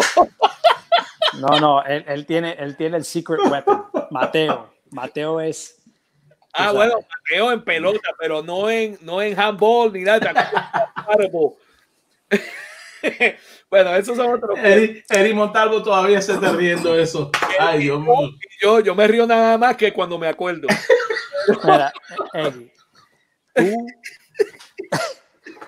no, no, íbamos a hablar, no íbamos a hablar de Oscar. Tú, tú, estás jodiendo, tú estás jodiendo con Oscar, bro. Tú estás jodiendo con Oscar. Bobby, Bobby. Vamos a volver él está poniendo cosas, pero yo no lo puedo poner. Eh, vamos a volver al programa, a retomar el programa porque lo estoy perdiendo de control. Este, Mark, ¿qué ha sido Mark en tu vida? Eh, Todo. Háblame, háblame. Final. Háblame. En lo bueno, en lo malo, en lo mediocre. O sea, son cosas, eh, son cosas que, que mucha gente no pueden decir que tienen. ¿Tú me entiendes? Yo no me voy a sentar aquí y de, y también no se puede sentar ahí y decir que nosotros no hemos tenido nuestra, no, no voy a decir discusiones porque no, no estábamos acostumbrados a, discutir. ¿Tú me entiendes? Si a mí me molestaba una cosa o a él le molestaba una cosa, nunca hemos perdido el tiempo de, de pararnos a discutirlo o cosas así. Siempre nos íbamos de un lado y el otro para el otro lado, pero sin faltarnos el adiós o te veo mañana. ¿Tú me entiendes? Y si, me, y si, y si me, me, mandaba para el carajo, pues entonces yo pagaba el peaje para ir al, al, al carajo a buscarlo. Pero si tiene Easy Pass, llega más rápido. Pero, pero eso, y eso, y eso es una cosa que no, no mucho lo tiene. No diciendo que o sea, es una cosa buena, para, para, mí una cosa buena, pero puede ser lo malo también porque en la vida comunica, comunicación es muy importante, pero nuestra forma de, de comunicación era, era y es esa. ¿Tú me entiendes? Porque yo creo que nosotros, lo que pasó en nuestra vida es que ya nosotros sabíamos lo que era discutir, tú sabes, y, y con nuestro hermano, con nuestra familia y cosas así. Nosotros aprendimos, aprendimos de eso, al igual que aprendimos de, de no hacer droga por, por, por, ver a otra gente hacerlo y ver, ver, lo que le hizo a la otra gente. You need to pass, you pass. Me piden permiso aquí. Mira, que presentar. Que presentar. I hope she has clothes on because you know that happens in Zoom. I know. No, she had clothes on. She had clothes on. Just the top. Pero cosa, cosa en la vida que, que uno dice, ¿por qué voy a gastar el tiempo haciendo eso si eso no va a llegar a nada? ¿Tú me entiendes? Hay diferentes formas de, de hacer la cosa y en, encima de toda esa, esa cosa y nuestro pasado y nuestro, nuestra historia, con este tiempo que hemos pasado y él lo, él lo sabe que hay muchas cosas que él y yo aprendimos en esto, al igual que el mundo entero. ¿Tú me entiendes? Yo, yo miro esta vida como, como un carro lease. Nosotros somos vehículos de lease. ¿Tú me entiendes? Cuando se nos vence el lease, todo el mundo va a llegar a la misma. A la misma no, pero, pero, pero cuando, cuando, este lease se vence, ¿no? lo renovamos, porque si no, hay que cambiar el carro, ¿no? y eso tú lo sabes muy bien. Anyway. más, cambia más que la media, que yo cambio la media, no. Eso es increíble. Pero eso, eso es para mí importante, o sea, la comunicación, pero gracias a Dios que, como dije, hay mucha gente en este mundo, sea personal o musicalmente, que quisieran tener lo que tenemos nosotros. Y yo digo, hay, hay una razón por, porque, la, porque la tenemos desde los siete años, yo siete y el nueve. Y desde cuando yo lo, yo lo vi entrar al Roberto Clemente State Park, aquí, ahí yo dije, se, jodió, se me jodió la vida. Con ese afro era competición de afro. El del mío, del, del, del hermano mío, de Juicy, unos piojos que andaban por ahí, lo que digo, brincando de afro a afro. Era un circo de, un circo de, de, de piojos. Por, eso, por eso ahora ustedes decidieron no tener pelo, ¿no? No fue decisión. Decisión no era de mí. Oh, no, me, no me haga hablar, George. George, no me haga. No me haga no me haga hablar. Ay, Dios mío. Ok, Bobby, yo creo que ya es tiempo de que, de que de te mandarme para el cat. Sí, yo creo que ya es tiempo de que te vaya. Gracias. Pero, pero no, Bobby, este, eh, yo puse una foto ahorita, no sé si la llegaste a ver, de cuando yo los conocí a ustedes en México. Sí, esa camisa eran dos por 10 dólares.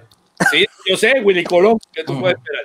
Pero anyway, este ha sido para mí, ya que te tengo aquí, un, un, un, un verdadero placer a, a, haberlos tenido ustedes en, en, mi vida y la, y la amistad que tenemos.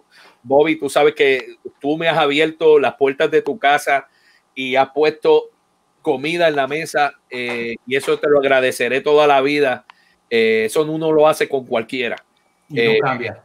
Y, y, ustedes también, Mark, tú has abierto la, la, la puerta de, de, de, tu apartamento. Del, del, ca del, carro mío, del carro. Mío. sí, del carro nada más. No, en tu casa también, en tu casa también, que me acuerdo que llevé a Marquitos López y a Marquitos Torres, yo creo que fue, este, uh -huh. Que, que, ¿sabes? Lo que para mí es Tito Puente, para ellos es Mark Quiñones, tú sabes. Uh -huh. Estaban impresionados de que estaban en casa de Mark. Eh, pero, pero de verdad, hablando en serio, ustedes dos siempre, siempre han sido unas personas muy, muy eh, directas conmigo y, y, y, tú sabes, de, para mí una hermandad. Aunque no nos vemos nunca, no, sabes, Mark no contesta las llamadas ni nada de eso, pero. Pero, pero no, no, es solo con, no es solo contigo. Yo lo sé, yo lo sé, por eso es que estoy tranquilo. Eso y, que... y, eso es el error más grande de, de nuestra amistad que la gente lo llaman a él, él no contesta, entonces me llaman a mí. Oye, ¿por qué yo no tengo el teléfono de Mark?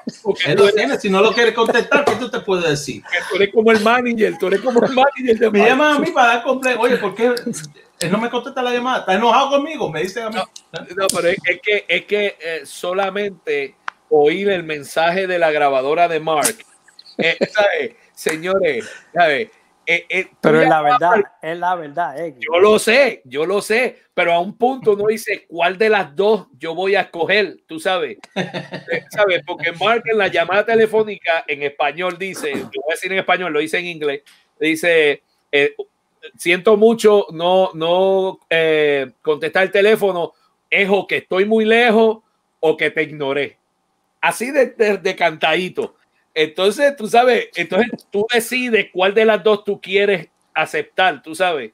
Si, si, si acepta, te ignoré, pues vas a salir acomplejado de la llamada. 99% de esas llamadas son ignoradas, para que lo sepa. Yo lo sé, yo lo sé. Yo lo Por eso que no lo llamo. Inclusive, no, no, yo, yo dije, mira, me enteré que tuvo el COVID, lo llamé y todavía el sol de hoy que estamos hablando, eso no llegó. Pero yo no lo cojo personal porque yo sé que hay una hermandad y un cariño que, que, que va sobre todas esas cosas. Yo le echo la culpa al COVID para que, que te ignoré la llamada. que estaba muy. Yo sé, Está como Trump, que la culpa es de todo el mundo menos él. Sí. No, no íbamos a hablar de política ni, verdad, de Oscar, ni de Oscar. Sí, pero, pero tú dijiste que no ibas a hablar malo y ya mira lo que has hecho. Mira, Paulo Estañaro está por ahí también. Paulo, lo veo, lo veo. Está por ahí. Pero, eh, Bobby, gracias, gracias por entrar Señores, con nosotros. Espero que te mejores rápido, brother. Sí, no, aquí estamos, aquí estamos en la batalla y ojalá que esta segunda, si no, hip replacement, lo que me, va. Me alegro, me alegro que está en la casa, porque la, cuando, yes. cuando lo vi esta tarde estaba en el hospital todavía. So, me alegro que está en la casa recuperando. Y, y nada, estamos aquí. Estamos sí, aquí, exacto, hermano. Exacto. Sí, no te veo, Bobby. Te quiero, mi guys, hermano. take care. Love you guys. I love you too. Familia, y después hablamos. All right, bud. Chao. Bye, bye. Bueno, pues lo ahí llamaste, lo tenía. Lo, lo, llamaste con la mente. ¿Viste eso? Con la mente, no, esto ya estaba planeado. Esto ya estaba planeado hace rato. Coño, pero, deja, deja, que la gente crean que tú eres un sabio, bro. Pero uh, sabio era Héctor Lavoe allá, el sabio. El Este, sabio, de sabio no tiene nada. Yo no tengo nada. Mira, pero volvemos de nuevo. Entonces, Spyro Yaira, hay un cuento que, que, que, que ha sido, ¿sabes? Básicamente fue un, un, un, turning point, lo que dicen en, en uh -huh. tu carrera. Cuando tú estás tocando un show con Spyro y entra un baterista de un grupo famoso de, de rock. Cuéntanos uh -huh. de eso, por. Bueno, terminamos el show y viene el manager de Spyro y me dice, oye Mark, hay un Butch Trucks de los Allman Brothers que te quiere conocer. Y yo le digo, yo no sé quién es Butch Trucks y yo no sé quién son los Allman Brothers. Pero está bien. So, so el tipo viene y como ya para ese tiempo estaba sordo de todos esos años tocando con, con los amplificadores de guitarra detrás de la batería no adelante, detrás. Él y J-Mo están sordos.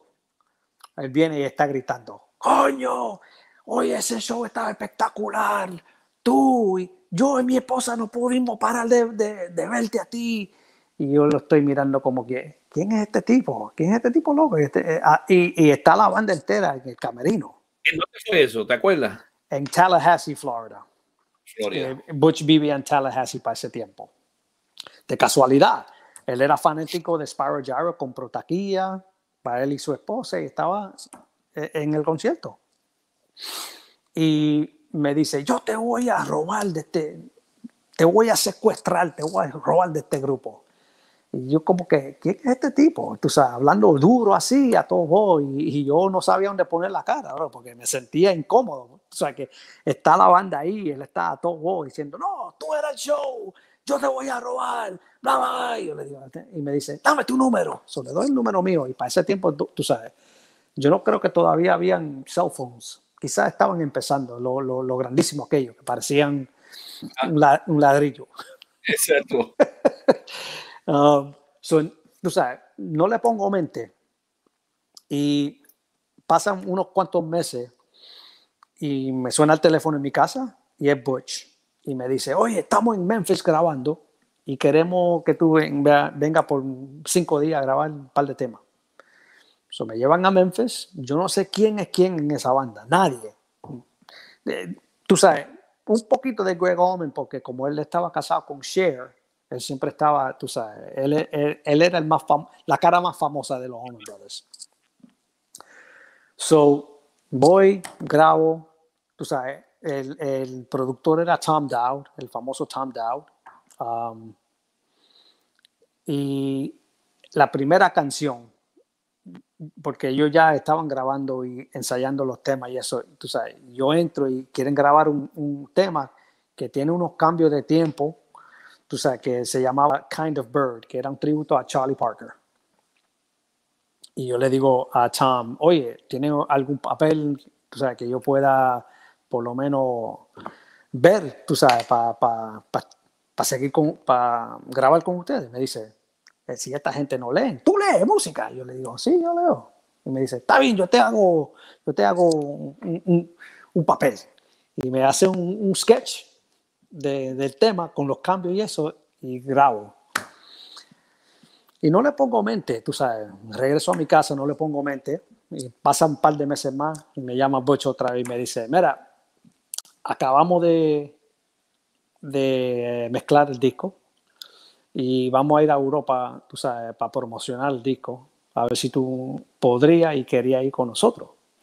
Tú sabes, no tenemos mucho dinero para pagarte y no sabemos si va a funcionar porque los Allman Brothers eran dos bateristas, que era Butch y Jamo, siempre ha sido.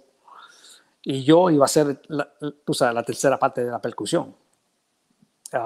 Y me dice, yo no sé si va a funcionar porque nunca hemos tenido percusionistas, nunca viajamos con uno, pero quisiéramos que tú fueras, como tú grabaste en el disco.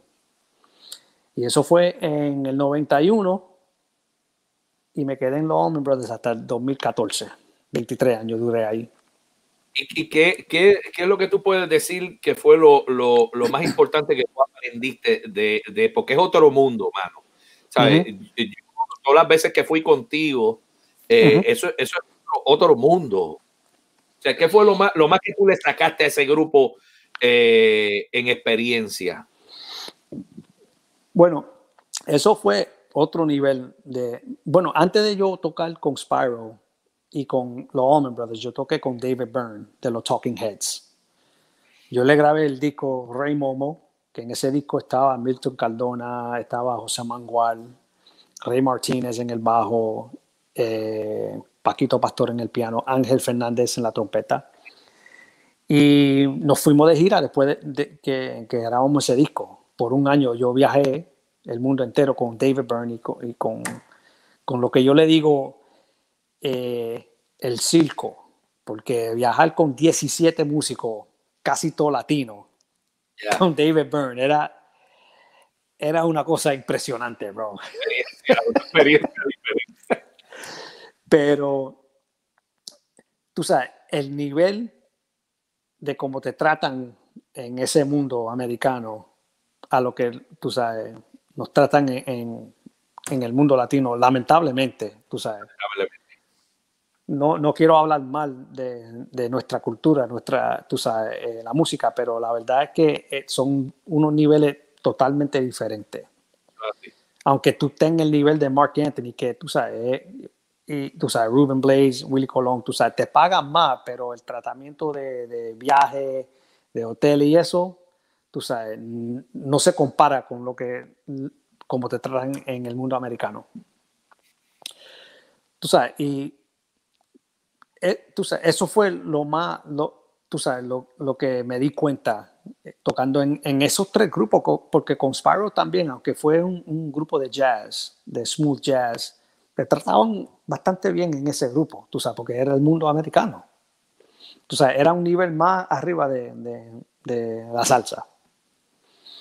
Um, pero también, tú sabes, eh, los primeros ensayos que yo hice con los Allman Brothers, ellos, la única cosa que me molestaba en, en, ese ambiente era que esa gente nos llevaba a, a un lugar a ensayar por tres semanas.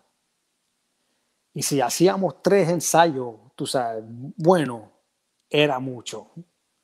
Porque le gustaban ir a pescar, a jugar golf, y para ese tiempo yo no jugaba golf, que si yo jugaba golf, pues entonces no me molestara tanto, pero yo estoy metido en un hotel tres semanas y llegábamos a los ensayos a las 7, 8 de la noche, ensayábamos un tema y cogíamos un break de 45 minutos.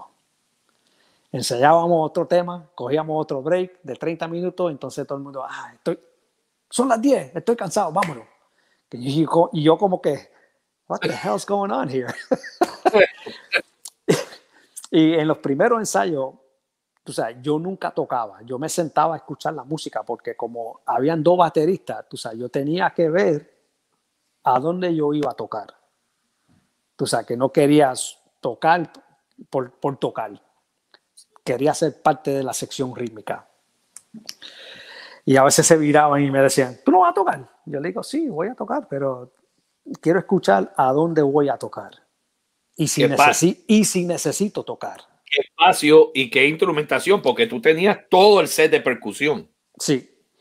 Y tú sabes, yo, yo, yo siempre digo que tocando salsa con tres percusionistas me dio la facilidad de poder tú sabes, porque era el mismo concepto con dos bateristas. Tú tienes que, eh, tú tienes que buscar a dónde cabe el ritmo y que no sea igual, porque con Butch y Jamo, aunque eran dos bateristas, eran dos estilos diferentes que tú sabes, ellos se um, complementaban. sí.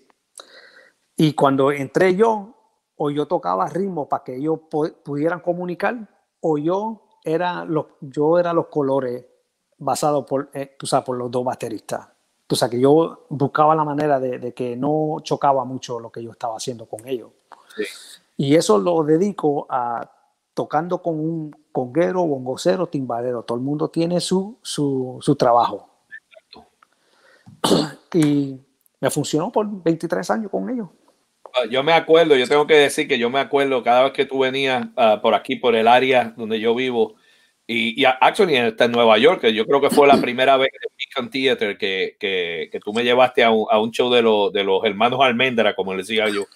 Este, eh, siempre tú me ponías a tocar un número uh -huh. en cada show de eso. Un número. Pa, yo me trepaba y era un vacilón. Era, tú siempre me decías, concéntrate porque tienes a Jamo y a Butch en el otro lado y tú sabes. Y a veces, este, a veces se desviaba el tren. Ya, yo sé. Decía, tú concéntrate, me ponía más nervioso a mí, tú sabes, pero, pero nada, hasta una vez aquí creo que en, en, en el, en el Orpheum, aquí. En el ex, no, en el Xfinity. Ah, fue allá, que, que tú sí. te habías lastimado un dedo. Que era Great Woods. Tú, no, tú era, habías... eso era en el Orpheum. Eso en el Orpheum. Sí. Por eso, pero tú me, tú me eh, me dijiste, quédate por ahí porque probablemente vas a tener que tocar más de una canción porque yo jugando algo, qué sé yo, te lastimaste un dedo. Y, y tratando, ese día... tra tratando de impresionar una novia. Mira, ya, ya, eso, eso, es otro programa. Eso es otro programa. Pero, pero ese día y, y, como dos días después o algo así, este, yo estaba ahí, toqué un par de números que después me entero de que eso lo estaban grabando y que vivo, así que yo estoy en par de los, de los discos de los Almond Brothers, pero nunca lo pude, nunca me, me comuniqué con Bert para, para que me diera ¿Nunca te lo copia. mandaron? ¿Nunca te lo mandaron? Yo, yo te lo consigo. Te lo ah, consigo. coño, sería, sería genial. Pero que entonces, señores, yo le hago la pregunta a Mark. Yo le digo, mira, Mark, cada vez que tú vienes, tú me trepas a tocar una canción. Ya llevo cinco años tocando una canción cada año. Uh -huh. ¿Tú crees que yo puedo poner en mi resumen que yo toqué con los Allman Brothers? Y tú me dices, claro. Y yo le dije, no, no, vamos a hacer una cosa. Yo voy a esperar un año más. Seis números, eso es un show. Ahí sí lo pongo. Pero claro. No, nunca tocaste más. No, es decir, no llegué a los, no llegué a los, a los, a los a seis no, no llegué, pero, pero que te quiero decir, yo no lo iba a hacer, eso era un vacilón. Mm. Pero, pero era una, una experiencia completamente eh, diferente estar en la tarima con, con, con, eso, con esa gente, tú sabes. La última vez que yo toqué, que tú me pusiste a tocar, fue en, en, en el, en el Pavilion en Boston, el que es como half chair, shelf. El, el que está afuera en, en la marina. En la marina, así a- atrás del Bay, ahí en Boston. Eh, esa fue la, la última Que, vez. que, eh, ahí, ahí fue que tocamos con Santana, ¿no? No, no, no, no. ¿No era no. Santana o era Steve Winwood? No, tampoco. Eh, una vez en el, en el otro de allá de Mansfield, ustedes tocaron con, creo que fue Jefferson Airplane, una de esas gente que estaba en ese grupo, estaba eh, Susan Tedeschi, que yo había grabado con ella allá. Este, pero no. ah, mira lo que dice Bobby Allende, que el catering era lo mejor. ¿El qué? El catering. Sí, lo, lo, lo- a, Bobby era, tú sabes, eh, los camarones. Así. Eh, mira, ahí está también Yo, por ahí. yo, yo, yo invitaba a Bobby a los shows, ¿verdad? Ah, Oscar Hernández está por ahí y, también. y yo, tú sabes, estaba tocando y buscando, buscando a Bobby. Bobby en el, en, en el catering room comiendo. y yo viendo el juego de los Red Sox. Porque me acuerdo, me acuerdo que llegó el, el técnico del, del drum tech. Yo estaba en la parte de atrás, eso fue en Mansfield. Estaba en la parte de atrás viendo el juego los Red Sox. Y entonces viene el tipo y dice, hey man, Mark dice que vaya, que tiene que tocar. Y yo, pero estoy viendo el juego. Dice, no, no, que vayas ahora que tiene que tocar. Y yo, ok, fine, me fui para allá. Toqué el número y volví de nuevo para acá a ver el juego. Oye, pero allá en Great, que era Great Woods para ese tiempo, que ahora es The Xfinity, creo. Ah, exacto. Ese catering Uf. era el mejor, bro. Una Ya. comida impresionante ahí. Y, y, y, y déjame decirte, eh, eh, señores, ustedes tienen que ver este, este bueno, ya no, ya, ya los Harmon Brothers se chavaron, pero, pero, pero era, era bien cómico porque Mark me decía, Mark estaba en maones, en su tichel y todo. Ah, mira, espérame ahí que vengo ahora, me voy a cambiar para el show. Y cuando venía, venía en pantalones cortos, en una camisa, ¿sabes? Venía más anderajoso de lo que estaba. Y entonces yo decía, pero ven acá, pero tú, tú no te ibas a cambiar. No, eh, eh, así que, así que se Oye. toca aquí. Tú, tú eres testigo de que ese, ese guiso, ese show, era como ir al gimnasio. Eran dos horas y media de tocar. Había un número a que una, duraba a casi una una alta hora. veloci- a una alta velocidad, brother. Había un número que casi duraba una hora. ¿Tú me entiendes? Por eso yo me ponía ropa del, del gimnasio. Porque Y- era, un work, era un workout. Y Era el- un el- el- entrenamiento. El, el número que a mí me partía por la mitad era el que tú, que primero era Butch, pero después yo te había los timpani. Pum, cutum, ping, cutum, cutín. Y de momento yo sentía que Bush se iba eh, para un lado, que Jimo se iba para otro, y yo decía, ¿dónde está el Duan Beat? Pero ese, tú ahí, ese, ese es el número de, de 45 minutos. ese. Pues, y tú ahí, tú, Pacho, yo no me voy con nadie, que todo el mundo se venga conmigo. Brother, eso fue una, una cosa, una cosa increíble, Mark. Eh, ven acá, Mark. eh, de, de la, de la nueva generación eh, de percusionistas, de chamacos, ¿quién, quién, quién eh, tú estás fijándote ahora? ¿Quién, ¿Quién tú crees que son los que están haciendo el trabajo más? No es, no es uno, son varios. Varios, yo sé. Que, que un par de ellos eran estudiantes tuyos en Berkeley. Y tú sabes que Marquito López, eh, Kilo, To- Marco Torres, eh, Stagnaro, también Tony Escapa. Bonito. Um, tú sabes, de la generación nueva también Tony Zucker, que está superando como músico y como Yeah. productor. Está haciendo Eh, muchas cosas ahora Camilo, también. Camilo, Camilo Molina en Nueva York. Um, hay, hay, hay mucho, brother, que estoy bien impresionado con ellos porque, tú sabes, están siguiendo la tradición. Tú sabes, no, tú sabes, ellos, ellos tienen su, su propio estilo, pero también, tú sabes, cuando tienen que tocar la tradición, la- saben tocarla también. Que, es lo más que es lo más importante para mí. Ven acá, y, y una de las cosas que, que, que tú has cambiado, si podemos decir de esa manera, porque cada, cada era, cada época tiene, tiene su, sus personas que, que o sea, su artista que uno sigue y todo el mundo va siguiendo esa, esa fuente como lo fue Orestes Vilató, eh, y que todavía, ¿sabe? Todavía muchos jóvenes empiezan y empiezan siguiéndole los pasos a Puente, siguiendo los pasos a Vilató, a Manioquendo, a Guillermo Barreto, eh, y estoy hablando de timbaleros en este caso, Mongo, Barreto, ¿sabes? Eh, Pero déjame, déjame añadir los músicos porque tú sabes, no puede faltar Jeremy Bosch. A cantante. Y Anthony Almonte, que son dos tipos que, tú sabes, Anthony es un cantante impresionante, pero también es percusionista. Y Jeremy, tú sabes, flautista, tecladista, cantante.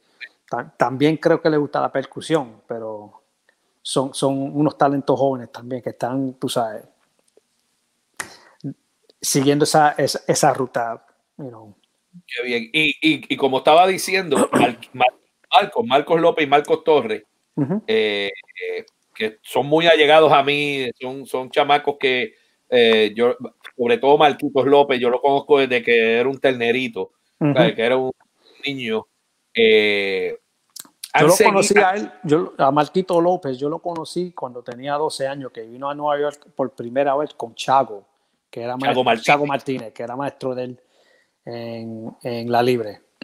Mm.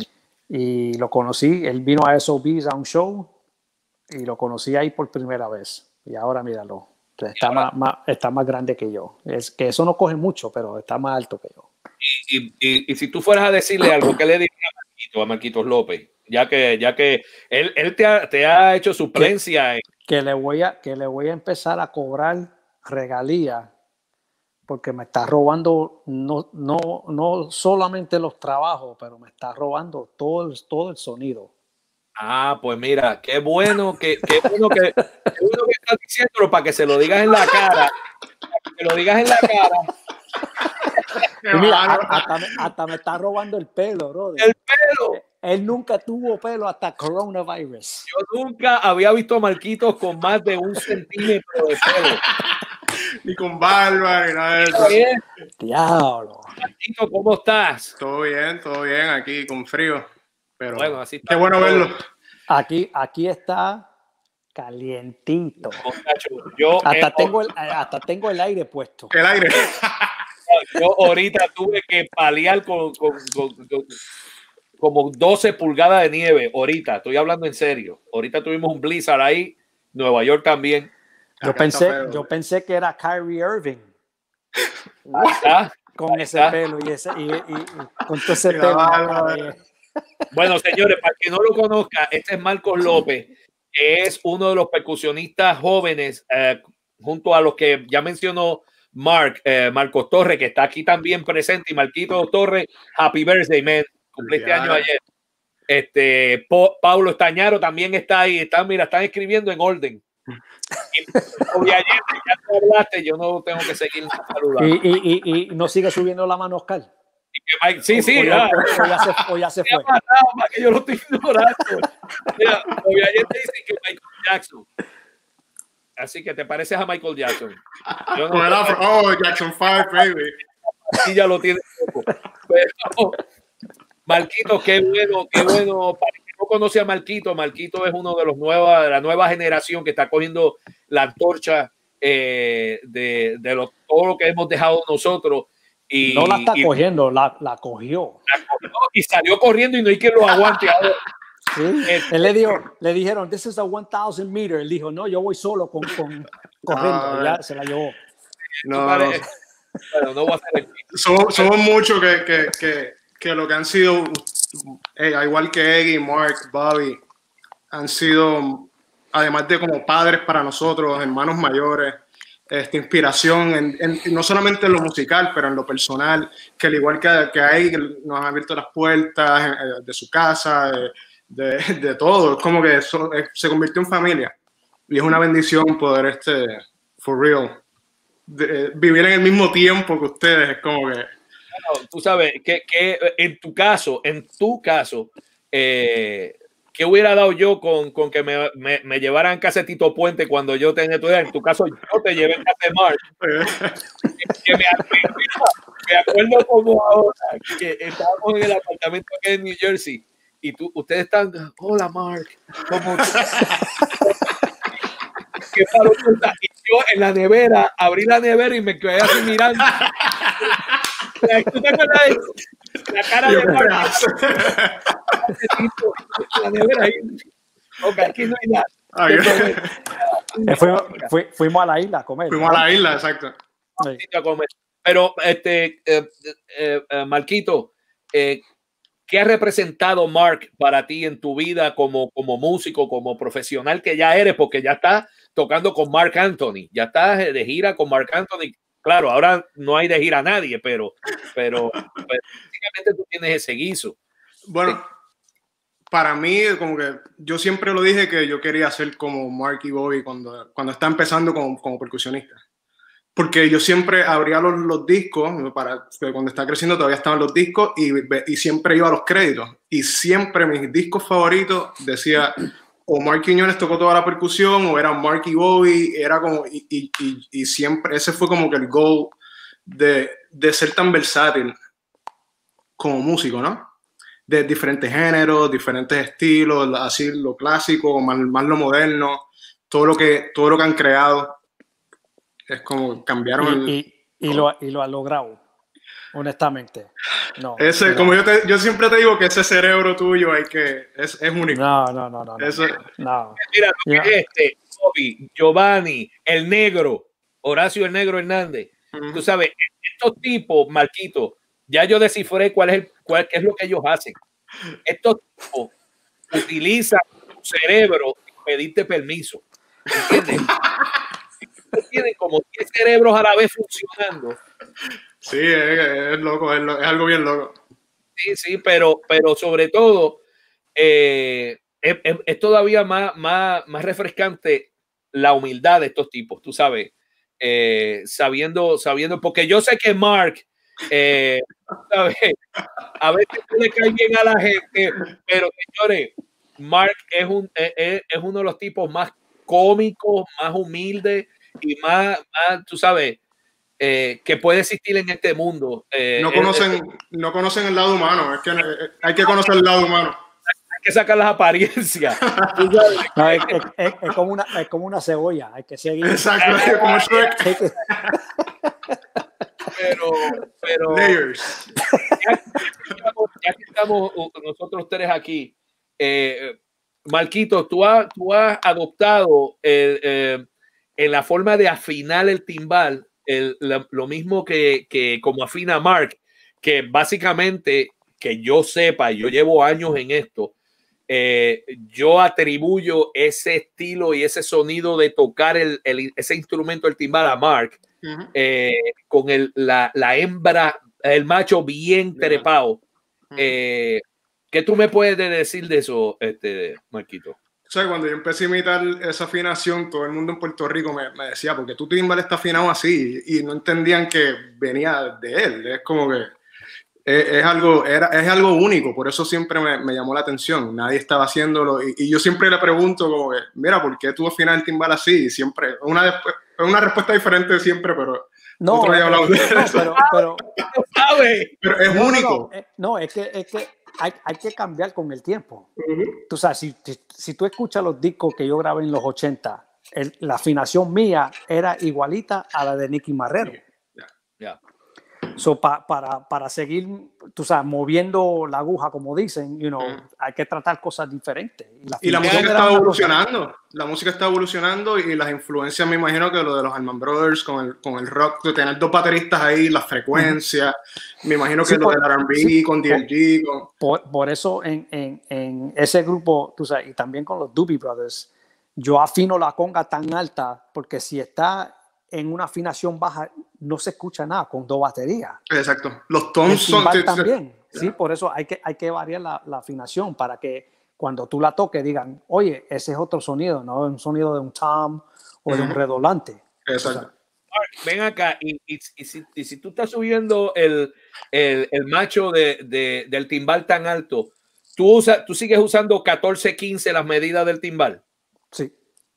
¿Por qué tú no usas de un, un 13 en vez de un, de un 14?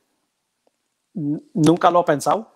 Eso te ayudaría a- al, a- a- al sonido más, más agudo, tú sabes, del que tú usas.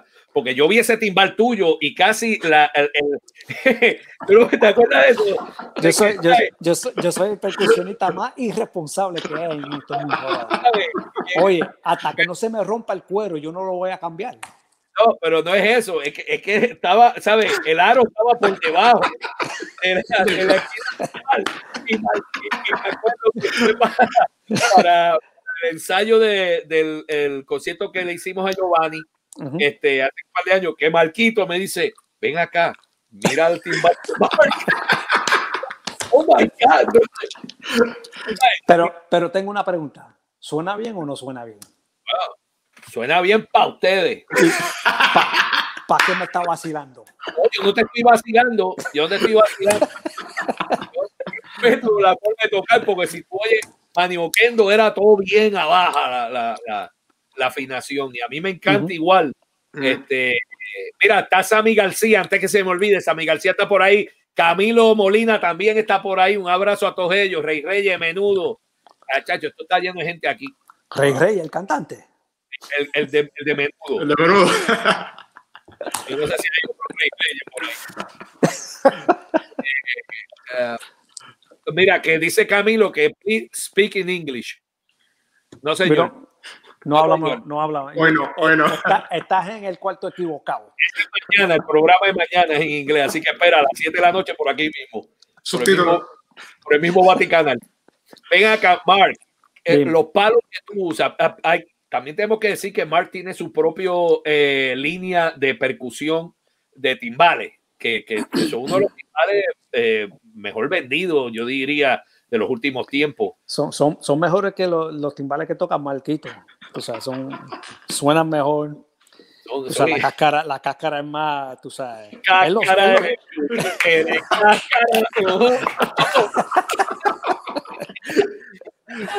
No, no, no, no, no, no, no voy a hablar mal de la LP. Tú sabes, yo estuve con ellos muchos años.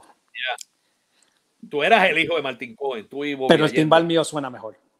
Bueno, suena, suena increíblemente, suena increíblemente. Y, y ven acá, Humildemente lo digo. Humildemente. mío. No, tiene las campanas también, el platillo, que tiene. ¿Sí? Lo- lo- lo- los palos, el, el platillo de Zildjian, el sonido multi. Sonido multi. Yo lo tengo por ahí en algún.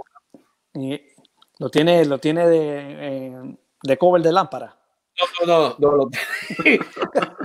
no, no, no, suena, suena bien, suena bien, suena bien, suena bien. Este, y los palos, Mark. Los Ujú. palos que tú. Marquitos, tú usas los mismos estilos de, de Él- palos de Mark. Él usa los los de Bobby. Es lo mismo. No, los de, Bo- los de Bobby son un poco más pesados. Más, más y más largo. Sí, eh, son como el tamaño de la mano de Bobby, de los dedos de Bobby, ¿verdad?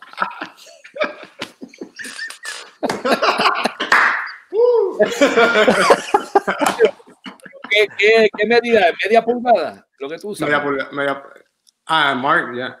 No, La mía, no, se- se- um, 716. 716 de lo- las de salsa y de media pulgada son los de rock. Ah, ok. ¿Y tú, Sí. Marquito? Los de Bobby son 17 por media pulgada. Pero hay veces que, es que depende, depende, hay veces que uso los de Mark, si estoy grabando, las baquetas más finitas me gusta más para grabar. Es que la- la- la- los palos míos, los finitos, son de finesse. Los de Bobby son como las manos de Bobby. Te, te caen encima. No, pero en, en vivo me, me ayudan un montón No. porque no me tengo que estar matando. Sí, sí, por eso, por eso es que yo hice la, lo, lo de rock. Y solamente lo uso con, tú sabes, con los Allman Brothers. Y cuando estoy tocando salsa, uso lo más finito. 716. Sí, porque si no, estás rompiendo palo en cantidad, tratando de sacar sonido con, tú sabes, Mm. en el grupo de rock. Ven acá, ¿y qué creen ustedes de, de, de, la- de la, nueva, la nueva tendencia que hay de, de- de acomodar los timbales al revés, las campanas al revés, platillo para donde no es? ¿Qué ustedes creen de eso? eso? es una cosa venezolana, eso no tiene nada que ver con nosotros. eso, lo está haciendo un montón de gente ahora también. Sí, pero yo he notado que muchos de los venezolanos tocan así. Y no, no, yo no entiendo por qué. A mí, si, si, si se le hace fácil así, you know, Me imagino. allá ellos, pero yo, el primero que yo vi tocando así era Luisito. Luisito Quintero. Sí. Ya. Y Chile ahí también lo mira. Muchos de ellos son zurdos también. Sí, pero lo tocan, lo to eh, Jesse, Jesse toca así. Jesse, exacto. Pero ah, Jesse toca batería con, eh, toca batería a lo derecho, pero left-handed. I know, it's ridiculous. Yeah, it's, it's, son zurdos. that, that, that's another one. Ese es otro, eh, Eggy, Jesse, yeah. Jesse Caraballo, el baterista de Mark Anthony. Eh, lo he oído, sí. Fenomenal. Mira, aquí, hay una, aquí hay una pregunta de Oscar Hernández. No es Oscar Cantaya. No, Oscar Hernández. Eh, ¿Cuál fue la primera grabación, Mark? La de grande de Rafael de Jesús. Me imagino que él estaba ahí en el piano, ¿no? Él estaba en el piano, for sure. Ah, entonces pues hicimos la, entonces la segunda fue la de Azuquita, que estaba básicamente el mismo corillo grabando en ese día. Ah, no, Sammy estaba en la conga en lo de, de Azuquita, no Papo Pepín. Ah, mira para allá. Pero José Feble era el director musical de, de esa producción, de Azuquita. Wow. Bueno, mano, tú sabes, ya casi nos quedan como siete minutos de programa. Hay una pregunta que vi, que no, que no, sé si la viste, pero... ¿Cómo es que tú puedes, espérate, ¿cómo que tú puedes ver las preguntas y yo no las veo? Porque él estaba, él no estaba aquí. Estaba en la computadora, exacto. Él puede verlas en Facebook. Pero yo nunca, nunca había escuchado que a ti te decían inspector clave. ¿Oh, sí? ¿Por, ¿Tú habías por qué? oído eso? Muchacho. ¿Por qué era eso? Mark llegaba a los sitios y ponía a temblar a todo el mundo.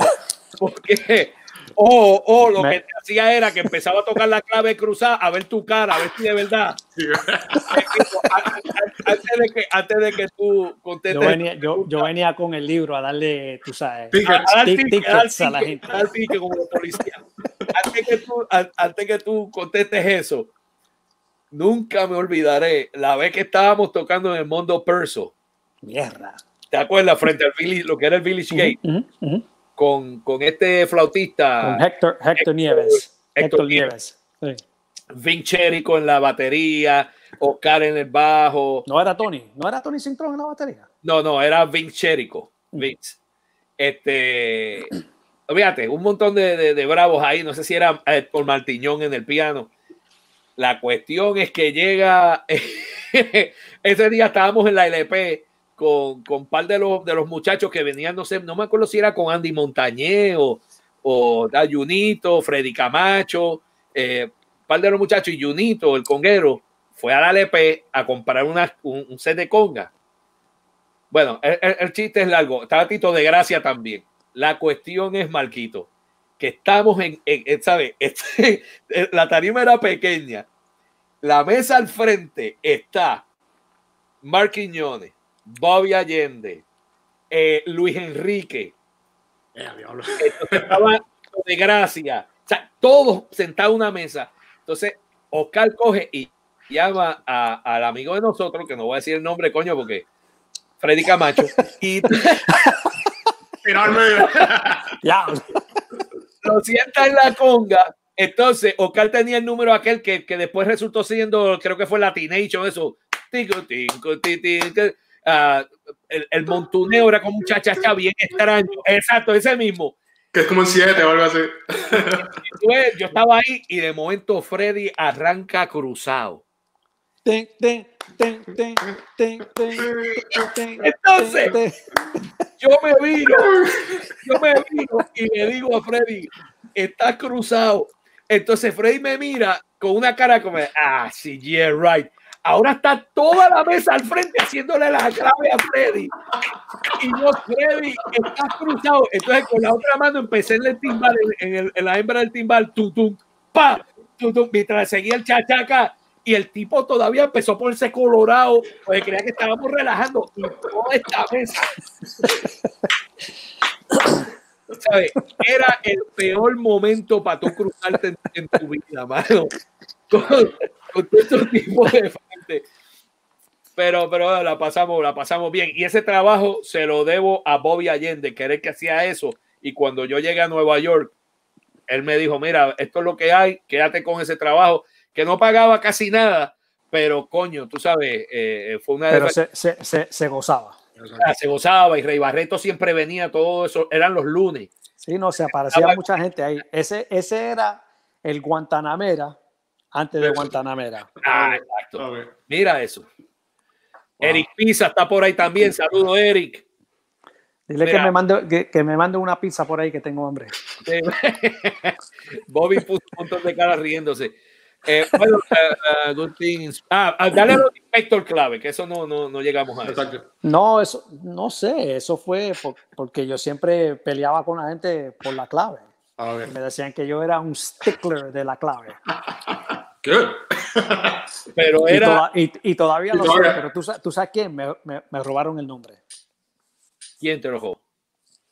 Oliva, Oliva Valdés, el baterista de Cuba. De interactivo, ¿no? Sí, sí, a él, eh, a él le dicen inspector clave. Oh, wow. no, el original está ahí sentado. Exacto. No, no va a decir nada, no va a decir, no, no, no va a decir nada. Es que no, yo no quiero ese nombre ya, anyways. Y, y, y, es too, it's too much. Sí, no, no, pero, pero puede estar tocando y de momento ver la cara de Mark Quiñones que entra por esa puerta, ¿sabes? Eh, eh, entonces tú empiezas a preocuparte. Empiezas a estar más, más consciente de dónde está la clave, de dónde está el downbeat, tú sabes. Me, me, me, me está dando, me está dando mala, mala fama. No, no, tú no puedes tener más mala fama de la que ya tienes. La, la, cuestión es que tú lo que piensas, empiezas a pensar es, yo no quiero el vacilón después, tú sabes. So, montar. Yo, yo, yo, mismo, yo mismo me ha tenido que dar par de tickets. Honestamente. ¿De qué pasa? Eh, es así. Es así. Pero mira. Hay que ayudo a cubrirte y que está Bobby, Bobby me mira como de. y yo, ups. ¿Tú, sabes, tú sabes que eh, el, el, número que mucha gente se, se, se equivocan en la clave es eh, de mi enamórate de Tito Nieves. Eso mismo es. Siempre. Eso mismo es. Eso y almohada. Yeah, because the clave, the clave could go either way, but you know, it's really, you know. Oh, wow. Yeah. Uno, uno, uno se, se equivoca en ese número. A mí nunca me han llamado a tocar con Nieves, pues. So no tiene que preocuparte por la clave, entonces. No me preocupar para nada, para nada. De mí enamora, te dice Bobby Allende. Uh -huh. Y Bobby me dice. Oye, Mark, eh, ya llegamos al final, hermano. La he pasado muy bien. Eh, yo espero que todos los, aquí todo el mundo, uh, lo, los mensajes son increíbles. Después tú puedes ir, Mark, a, a, chequearlos y si quieres contestar alguno, alguno de ellos. Es que no quería parar la conversación. Mira, Elitas, Elitas López está por ahí también. Saludos. Saludo, saludo. Eh, eh, esto se llenó de percusionistas aquí, de músicos. Eh, eh, yo no sé si el Dandy está todavía por ahí, pero. pero, si Coño, está pero ahí, se, se, apareció el Dandy y Oreste Vilator, Y Oreste. Ya. Wow. Yeah. Two, so, two, of my two of my favorites. Yeah. Tú sabes que, que Dan, Dandy es tremendo conguero, bro. Sí, so, señor. Forget about the bongos. Mm -hmm la conga, lo que, lo que él metió en, en muchas grabaciones, sí, señor. es Sí, una escuela, es una escuela, bro. Sí, señor. bueno, esos son los. Dandy es el, el eh, de, los que, de los que nos queda, mano, y, uh -huh. y, y, y a, a, mí me encanta porque eh, cuando yo tengo alguna pregunta de algo de, de, de orquesta de puente, de machito o algo, le escribo, Dandy, ¿quién está tocando timbal o conga o qué sé yo aquí? y él no te contesta por texto, él te llama. Uh -huh. yeah, yo prefiero, yo no quiero escribir.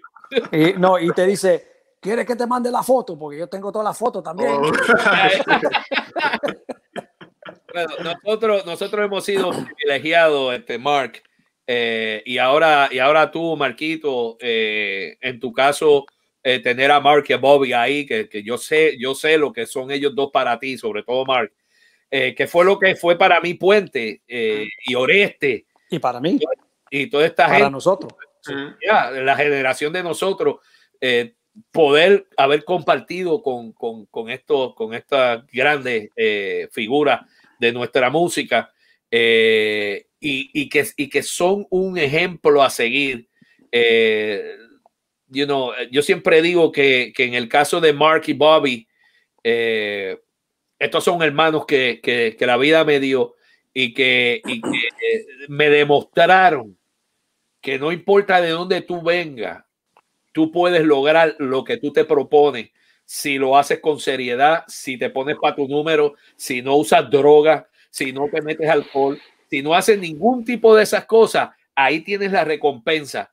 Tú sabes, son muchos, Mark, y ahora voy a hablarte directamente a ti, son muchos la, la gente que darían cualquier cosa por, por, estrechar tu mano, por conocerte, son gente que te admiran, tú lo sabes, eh, pero ustedes son tan, tan que, que eh, o sea, a usted no le gusta oír eso, pero yo sí lo voy a decir.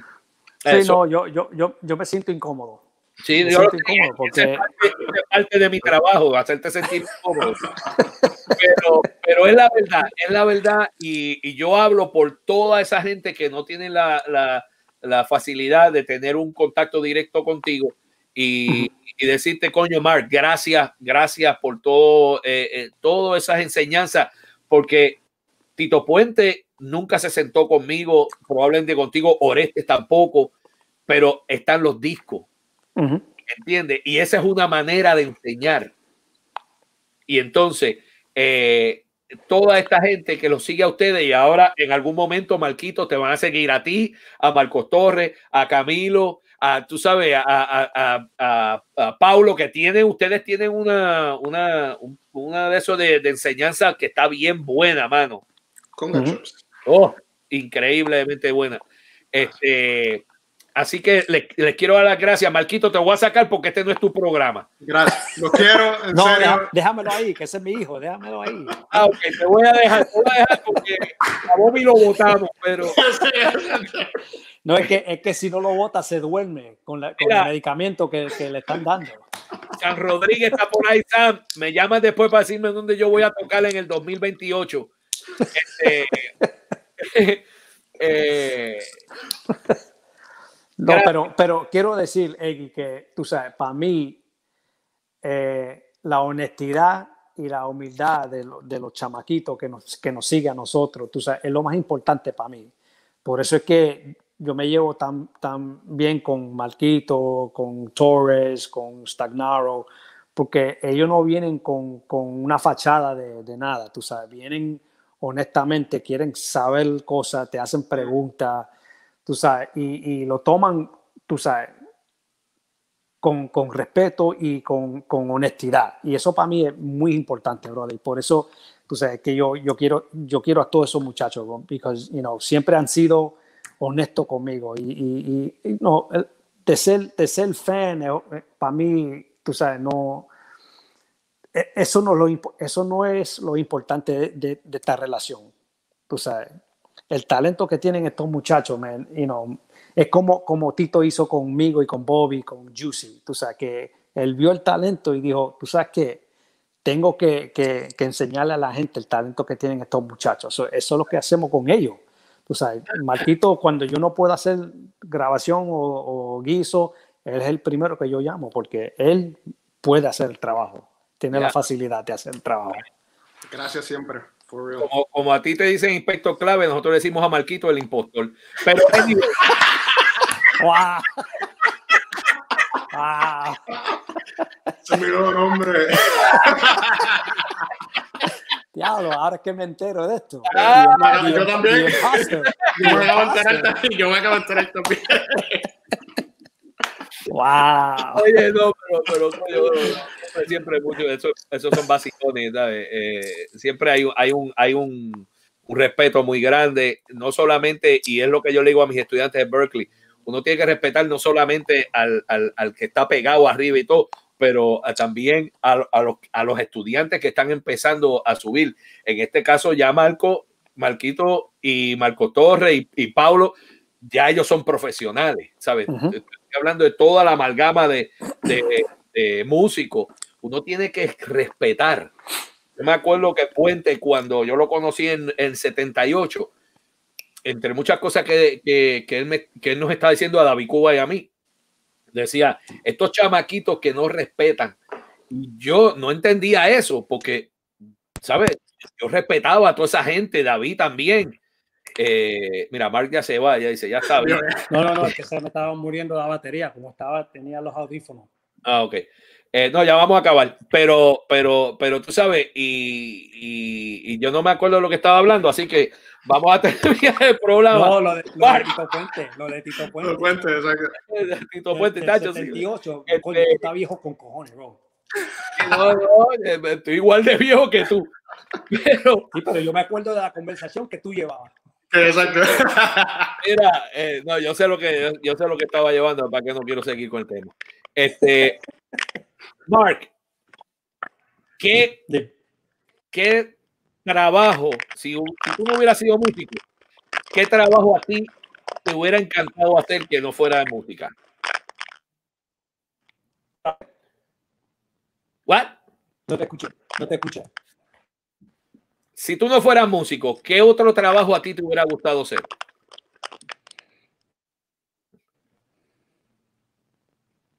No sé, yo he sido músico mi, mi vida entera. Pero tú no sabes, no, no, pelotero, no, no había ni, no había ni un- ningún otro remedio. golfista, Professional golfer, exacto. Maybe, maybe a professional, professional sports guy. Yeah. Ah, okay, there you go. Porque tú sabes, jugábamos pelota, yo y Bobby teníamos equipo y todo. Que somos, somos peloteros frustrados. Y ahora Yo lo soy sé. frustrado. Yo lo sé. Eh, entonces, para cerrar, si el cielo de verdad existiera, ¿qué te gustaría a ti oír de Dios cuando tú llegues allá que Él te diga a ti directamente?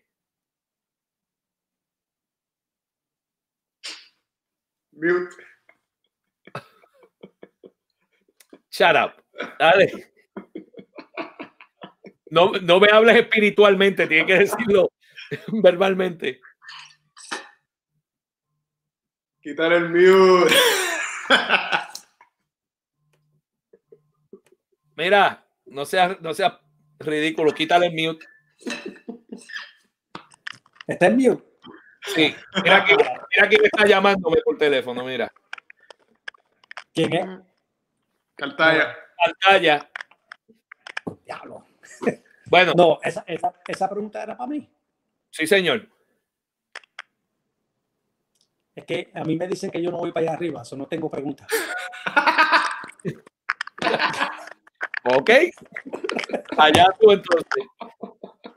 Bueno, Marco, Mark, gracias, mil gracias por el tiempo, gracias por, por, por todos estos años de hermandad, amistad. Eh, gracias por el tiempo que nos dedicaste aquí para todos los que entraron y, y te conocen ahora mejor. Eh, un abrazo muy grande para ti también, Marquito. Sabes que en esta casa se te quiere mucho. Eh, el plato de comida está puesto para ustedes dos en la mesa ahora mismo en mi casa. Así que Gra- gracias por la invitación y también por, por tú sabes, entrar a Bobby y a Marquito a la conversación, tú sabes, que fue una sorpresa. Y tú sabes, me alegro que, que me invitaste a, a- finalmente me invitaste a mí, porque tú sabes, todo el mundo me dijeron que estaban en el show de Eggy Castrillo, yo no sabía que Eggy tenía show, y nunca me, me, me dio invitación. Dice que está cerrando con brocha de oro. con No, con el finales. Vengo- vengo con el comeback. Dale. Si no ignoraras mi llamada, hubieras tenido el programa ya hace rato. No, es que, es que quizás cuando me llamaste estaba jugando golf, no la ignoré, si no estaba jugando. Bueno, eso es todo el tiempo, porque tú estás jugando golf todo el tiempo. Ah, pero anyway, gracias, Mark. Sabes que te quiero, pero y me quedo Igual. corto, bro. Un abrazo. Gracias Eh, por la invitación. Los quiero. Nos vemos y ya saben, pronto vengo el 14 de enero del 2021 Oye, con los nuevos y- programas. Y saludo a toda la gente que se sintonizaron aquí. Gracias por estar en esta conversación con nosotros. Y feliz Navidad y próspero año a todo el mundo. Y mucha salud. Igual. Igual a los dos. Dios, lo, Dios los bendiga, los quiero mucho, men. Yo también. Hablamos. Hablamos, Mark. Yeah. Bueno, mi gente, ahí lo tenían Mark Quiñones eh, haciendo un cambio, Marquitos López y Bobby Allende. Eh, gracias a todos, muchas felicidades, feliz Navidad, próspero año nuevo eh, para todos. Eh, un abrazo muy, muy grande y ya nos vemos pronto. Y recuerden, probablemente haga algo el día antes de despedir de año. Así que pendiente, ya les dejaré saber. ¿Ok? Dios los bendiga, que viva Puerto Rico, que viva Latinoamérica. Nos vemos pronto. Bye bye.